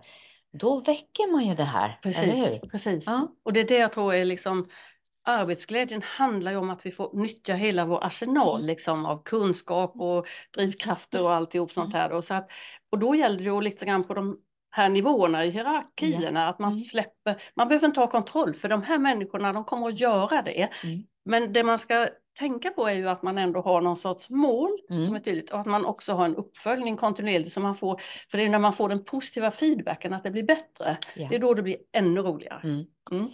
Och vi ska fortsätta prata Boel, men vi ska bjuda upp några fler personer för att summera den här dagen. Och det är Steven Lukas och Carolina Järnbro. Varsågoda fram så hoppar jag åt sidan så att jag ser er så här, tänkte jag. Ja. Så. Vilken fantastisk dag. Så mycket kunskap och så mycket nya idéer och tankar. Jag är alldeles full. Men ni tre tänker jag så här få summera lite granna. Vad har ni med er? Vem vill börja? Jag kan börja. Carolina. Ja. Nej, men det jag tar med mig är ju att det görs så mycket bra saker. Man blir så himla glad när jag sitter med siffrorna och ser, det ser ganska eländigt ut många gånger och då är det så härligt att se att så mycket görs i regionerna Mm. och att man ställer frågor om våld och att det har liksom blivit en naturlig del nu. Eh, Så det känns väldigt hoppingivande och sen vill jag också lyfta just barnsäkert. Just för att när man frågar bredare, inte bara om våld, så tror jag att man fångar in mycket mer. Vi vet ju som sagt från våra studier att just psykisk ohälsa hos föräldrarna har ju en väldigt stor betydelse för barnets utveckling och att senare kanske utsätta barnet för våld Mm. och missbruk och så vidare. Så jag tror just det är ett, jag tror det är ett väldigt lyckat koncept att fråga bredare. Ja. Det är inte riktigt lika tabubelagt heller som att Mm. fråga om våld. Mm. Jag tror man kan fånga in mycket genom att just gå ut lite Mm. bredare. Mm. Så det tar jag med. Tack så mycket Carolina. Ja. Ja. Nej, men jag håller med dig om det. Jag tror att det är en ingång att man har det breda då, för då kan man börja våga prata om något och kanske nästa gång, för då blir det här longitudinella viktigt också, att det inte är en engångsgrej. För vi vet ju hur människans förmåga. Det, det, det är ju ofta lite trappstegsvis. Mm. Så att frågan kommer tillbaka så kanske man är mer redo nästa gång. Mm. Och då kan det vara bra att börja med en mjuk fråga. Eller som, som känns enklare då. Så, och så tycker jag också alltså allt det här lärandet som finns nu. Och Mm. alla har ju något att bidra med. Och då är det ju jätteviktigt med det här med lärande nätverk som man ofta talar om nu och barnhälsovården har ju sånt och det gäller ju verkligen att ta vara på alla de här olika delarna i det. Så man inte känner, nej men det är den modellen och det är modellen, vad är de olika lärdomarna? Och då är ju lite grann som du säger det här med genombrottsmetod, att man Ja. liksom träffas tillsammans i teamen. Mm. Och då har ju barnhälsovården sådana Mm. nationella med tvärprofessionella grupper och så då. Så jag ser det som en väldig potential att liksom systemet också finns, man kan göra det. Mm. Den tredje saken jag tänkte på som är den som jag tror är så viktig framåt är ju, när man identifierar man ett problem så måste man alltså också eh, ha en, eh, en, eh, någonting att erbjuda. Och den delen blir ju jätteviktigt och då är det ju den där trasselbilden skulle jag vilja säga. Hur bygger man relationerna? Inte bara att man har telefon utan hur bygger man relationerna till de som man har tillit till varandra och, och säger till familjen det här är det bästa vi kan erbjuda dig. Mm. Mm. Så, så Mm. de tre sakerna tänker jag. Tänker du på? Mm. Ja. Steven? Ja, det blir synergieffekter Ja. av Ja. det Mm. också när, när det är flera professioner som, som möts kring eh, ja, familjernas behov. Mm. Ja, Jag, jag som har varit med liksom hela den här resan ifrån 2011 ungefär, Mm. när vi började prata, många av de här eh, som, som nu har gjort sina projekt och infört olika modeller för att, att eh, identifiera våldsutsatthet. Mm. Eh, den långa resan, som, alltså det är Mm. fantastiskt att se hur långt eh, vi har kommit. Men då tänker jag också vi har väldigt långt kvar eh, i, i den här utvecklingsprocessen till att öppna upp för fler saker. Våldet är ju, alltså det, våld mellan föräldrarna, våldet mot barnet är viktigt att upptäcka. Mm. Eh, men det finns ju så mycket Mm. mer som vi behöver fortsätta utveckla och prata om med föräldrarna. Mm. Öppna upp de här Mm. samtalen Mm. eh, till sånt som de kanske inte alls tänkte att de skulle prata om på, Mm. på BVC. Mm. Och sen just att, att hitta sätt att göra det som är strukturerade och som också fyller en funktion för den professionella. Mm. För de, vi har ju Mm. vårt Mm. uppdrag inom barnhälsovården Ja. och vi Mm. har ett nationellt barnhälsovårdsprogram. Ja. ehm, Mm. som har, eh, där, där det är väldigt tydligt att vi ska kartlägga Mm. eh, barnets kontext, Mm. eh, skydds och Mm. riskfaktorer och så vidare. Och vi behöver modeller Ja. som passar in i det Mm. och som blir verksamma och förenklar egentligen sjuksköterskans arbete. Mm. Jag tänkte jättemycket på den här studien Carolina som vi tillsammans har genomfört vart femte år. Mm. Och där kan vi ju identifiera många av de barnen som lever till exempel med föräldrar där det förekommer psykisk ohälsa, missbruk, en funktionsnedsättning. Mm. Och idag finns det också en lagstiftning inom ramen för hälso och sjukvården, BOEL, som gör att personal som arbetar där ska verkligen identifiera och informera barnen och ge råd och stöd. Om man nu tänker sig i den här kontexten, vad är nästa steg då för att uppmärksamma de här barnen ännu mer? Alltså, jag, jag tror, alltså det här är ett väldigt Mm. viktigt första steg Ja. och fördelen med just barnhälsovården är ju att det är alla barn och Mm. familjer. Mm. Så man inte förutsätter på något sätt att eh, det är vissa grupper här eller där Mm. och liksom då. Sen kanske man behöver mer resurser i vissa områden där Mm. man vet att där man då identifierat att det är flera problem och så.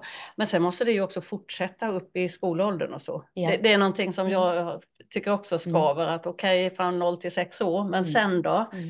Och där måste vi ju bli bättre på helheten och Mm. också alltid kopplade till att vi har nätverket. Var någonstans ska den här frågan landa då? Ja. För det är det som kan oroa mig, Mm. att vi identifierar saker som vi sen inte eh, så, eh, kommer till rätt plats och att inte den är förberedd, att inte manegen är krattad liksom. Så det är ju ett jättejobb nu tänker jag Ja. framöver. Ja. Och jag tänker i ditt kapitel Carolina så har du faktiskt med dig en amerikansk professor, Mm. James Heckman. Just det. Kan inte du Mm. berätta lite om det och dina tankar, hur, hur det kom sig att du lyfte in just den bilden? Ja. Jo, men det är ju just det där att man kan se, det här handlar ju om ekonomi Ja. förstås. Mm. Eh, och där man ser att ju tidigare man kommer in med insatser, Mm. desto Precis. mer, vad ska man säga, sparar man pengar är inte rätt, men det kostar inte lika Nej. mycket om man kommer in tidigt. Ja, En bra investering, ja. Mm. Ja, exakt. Att, ja, att komma in tidigt i Mm. barnets liv. Kanske också inom mödrahälsovården redan. Absolut. Ja, att, Absolut. och verkligen jobba med hälsofrämjande insatser Jajamän. i hela familjen. Ja. Både för föräldrar och de närstående och barnen. Mm. Och där kan man ju se att, nu pratar vi om barnhälsovården, men om man nu tänker sig det här nära samarbete med andra aktörer, ska vi, ska vi röra oss lite där ett tag? Vad, hur- vad vill vi framåt? Ja. Ja, dels så tänker Mm. jag att eh, precis som Maria berättade förut så, så finns det fantastiskt mycket resurser Mm. i Mm, samhället. Mm. idag. Eh, och när vi pratar med eh, familjerådgivare, när vi pratar med budget och skuldrådgivare Mm. så vill de få familjerna till sig i ett så tidigt eh, skede som möjligt. Mm. Eh, likadant de idéburna organisationerna Mm. som jobbar med olika typer av stöd. Mm. Eh, så de vill få, de finns där. Mm. Vi måste ju koppla ihop dem. Vi måste verkligen länka ihop precis Ja, det här ja, du sa. Liksom i, att, trassel, I trasselbilden. ja, liksom. precis. Att, att, att bygga de här länkarna, Mm. eh, helst med personkännedom, Mm. men, men det är också funktioner så att säga, så att det blir också eh, beständigt eh, Mm. framåt. Nej, men, och, och precis det, det är det jag tror är viktigt att det är ett både och då. Mm. För man, när man gjorde liksom sådana där, när vi höll på med den här barndialogen då, då var det ju mycket med telefonnummer och det ena och det är ju en sak. Men sen byter det och så vet man inte, men för man behöver också relationer. Man kan inte ha det personbundet heller, liksom, utan det måste vara funktionen också. Och då tänker jag att det finns många instanser som man kanske inte har tänkt på. Jag menar eh, kyrkan med sina förskolegrupper och öppen förskola, sådana saker. Familjecentraler där det finns och, och jag tänker fortsatta utveckling av familjecentraler tror jag blir jätteviktigt så man har socialtjänsten nära med sina perspektiv för de träffar ju inte alla barn.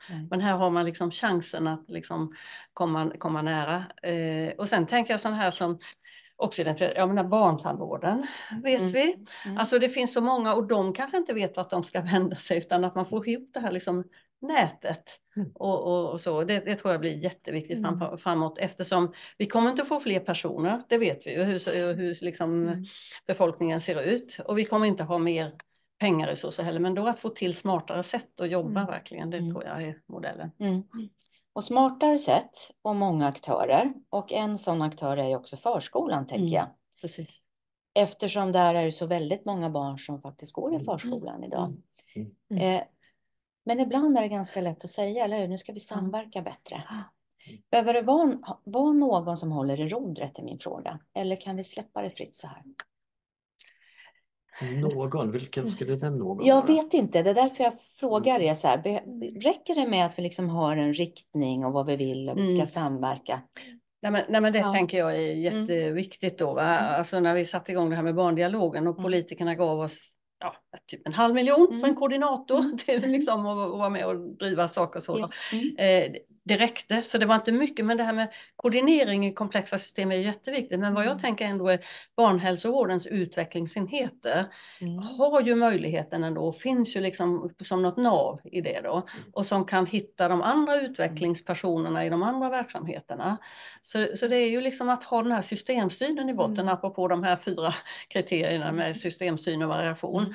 Och också det här med mätetal. Barnhälsovården har ju alltid varit duktig på att mäta saker ändå och haft sin rapport och så. Den hette i Jönköping när jag var barnhälsovårdsöverläkare och jag kom dit först så hette den statistik. Jag menar, hur, hur, hur kul är det liksom va? Nej men det är ju liksom en feedback på vad vi faktiskt gör och vad vi åstadkommer. Det, det är ju det liksom att lyfta det och att det inte behöver vara, det behöver inte vara randomiserat och stort utan det är precis det som vi gör. Hur får vi feedback på det? Mm. Med enkla mätningar. Carolina, du har också någonting. Nej, men jag, jag tänker också det att det, jag tror inte man kan lita på att det bara händer. Jag, jag tror inte det. Jag tror att man ska bygga, precis som ni var inne på, att bygga på de strukturer vi har. Vi har ju familjecentraler Ja. på de flesta ställen och jag tänker att bygga på det och utvidga det. Precis. Um, det tror jag på. Så Mm. det måste vara någon typ av organisering. Annars tror jag inte att det kommer ske. Mm. Och just det där att vara under ett tak och träffas. träffas. Det Mm. tror jag Precis. är, det kan inte underskattas. Nej. För att det här att samverka och inte träffas, det, det är svårare. Men är man under ett och samma tak och man kan gå till en fysisk person, då tror Ja. jag att det blir mycket lättare. Steven, har du tankar om det här? Ja, Ja. som barnhälsovårdsöverläkare Ja. och som du Mm, sa, då, det- alla barn kommer till, Mm. eh, till barnhälsovården Mm. och deras föräldrar. Eh, Så är det ju en ganska naturlig nav i, Mm. i, i den här typen av arbete. Så att eh, strukturen kan ju utgå Mm, därifrån. mm, Eh, Men sen så måste det ju finnas en, en tydlighet och jag tänker på sådana eh, eh, dokument och eh, vis, kallas det, vård i samverkan till Ja. exempel. Mm. Att det också kan eh, bli tydliga överenskommelser. Mm. Kanske inte exakt i detalj hur man ska göra men att de här strukturerna ska finnas och man ska samarbeta. Samverkan är ju bra. Mm. Men man måste ju samarbeta för att det verkligen ska bli den här synergieffekten. Mm. Så att de, de delarna måste vara på plats och i det här förändringsarbetet eh, inte enbart implementering utan det blir ju den här kontinuerliga Mm. anpassningen utifrån behoven eh, men med en struktur i Mm. botten.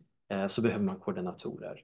Den här koordinatorsfunktionen Ja, är så, oerhört central. Ja, ja. Eh, Mm. För, att, för att vara där ute, känna av, eh, prata, Mm. få eh, medarbetarna att, ja, att reflektera Mm. och dela med sig av det positiva men också hur de har ö- Och sätta upp övervunnit. nya mål. Ja, precis. Mm, och sen precis. upp nya. Ja. Men jag tänker så här att nu har vi hört flera regioner nu som eh, har påbörjat en fantastisk utvecklingsresa och har nya tankar. Är det så att det finns regioner eller kommuner som inte har påbörjat den här resan? Ja, Ja, Många. det är många. Ja, ja. det är det ju. ja. Och vad behövs då för att få igång ett sådant arbete? Ja, Mm. alltså jag ser, eh, Mm. vi får till oss fler och Mm. fler förfrågningar om att eh, få höra mer om eller att få testa barnsäkerhetsmodellen. Jag är säker på att kollegorna eh, som har jobbat med andra modeller också har fått liknande förfrågningar. Ehm, Så att eh, det, det finns ett Mm. intresse. Mm. Eh, Regeringen har ju visat ett intresse för Mm. frågorna. Mm. Eh, Statsbidrag som, som bidrar faktiskt till utvecklingen. Ja. Så jag- Mm. jag hör väldigt mycket positivt i den riktningen och vi får inte släppa det. Vi får inte släppa det. Men Boel, du har... Nej, men jag tänker att eh, också det nätverk som finns nationellt är ju, för barnhälsovården har ju av tradition arbetat väldigt mycket tillsammans och även med flera professioner och så i det sammanhanget. Så att verkligen nyttja den som jag skulle kalla ett lä- lärande nätverk då, det är ju buzzword idag, men, men att verkligen nyttja det tror jag är jätteviktigt också eftersom det dessutom då innehåller eller engagerar många professioner och så då. Sen behöver man ju förstås det där makrostödet också, men det är där liksom horisontellt som det sker. Mm. Vilken fantastisk dag. Och eh, timmarna bara springer iväg. Vi skulle kunna stå här en halvtimme till och diskutera framtiden. Och det tänker jag, det ska vi fortsätta göra hörni. Vi kommer att fortsätta diskutera framtiden med tidiga förebyggande insatser väldigt stort på Stiftelsen Allmänna Barnhuset och bjuda in forskare och praktiker på olika sätt. Och vi tror att barnhälsovården tillsammans med andra aktörer är jätteviktiga för att få till den här resan. Och eh, den här publikationen, Kraftsamling om barn som far illa, den går att eh, på vår webbplats så kan man handla den. Och just nu, eftersom det är så kallade Black Weekend heter det va, så är den lite billigare. Men den går också att ladda ner som pdf. Och sen tänkte vi också passa på att eh, berätta att det här Havdaskonferensen, den går att se igen. Och det betyder att om ni har en kollega eller vill ha en arbetsplatsträff så är det möjlighet att göra. Sen är det väldigt spännande att nästa år, 2024, 8 och 9 och 10 april, då är vi i Karlstad. Då är det barnrättsdagar. Och det är ett viktigt tema, för vi kommer sätta fokus på barnets rättigheter som är kopplat till när föräldrar har svårigheter, men särskilt med de barn som lever med en anhörig och närstående. Det tänker jag blir en fin avrundning. Och jag vill rikta ett varmt tack till er och alla ni som har varit med på länk idag och föreläst. Utan er så hade det här inte varit den här fina Havdalskonferensen. Och stort tack till alla er som har varit med och följt oss. Och sprid gärna vidare det här materialet. Tack och hej!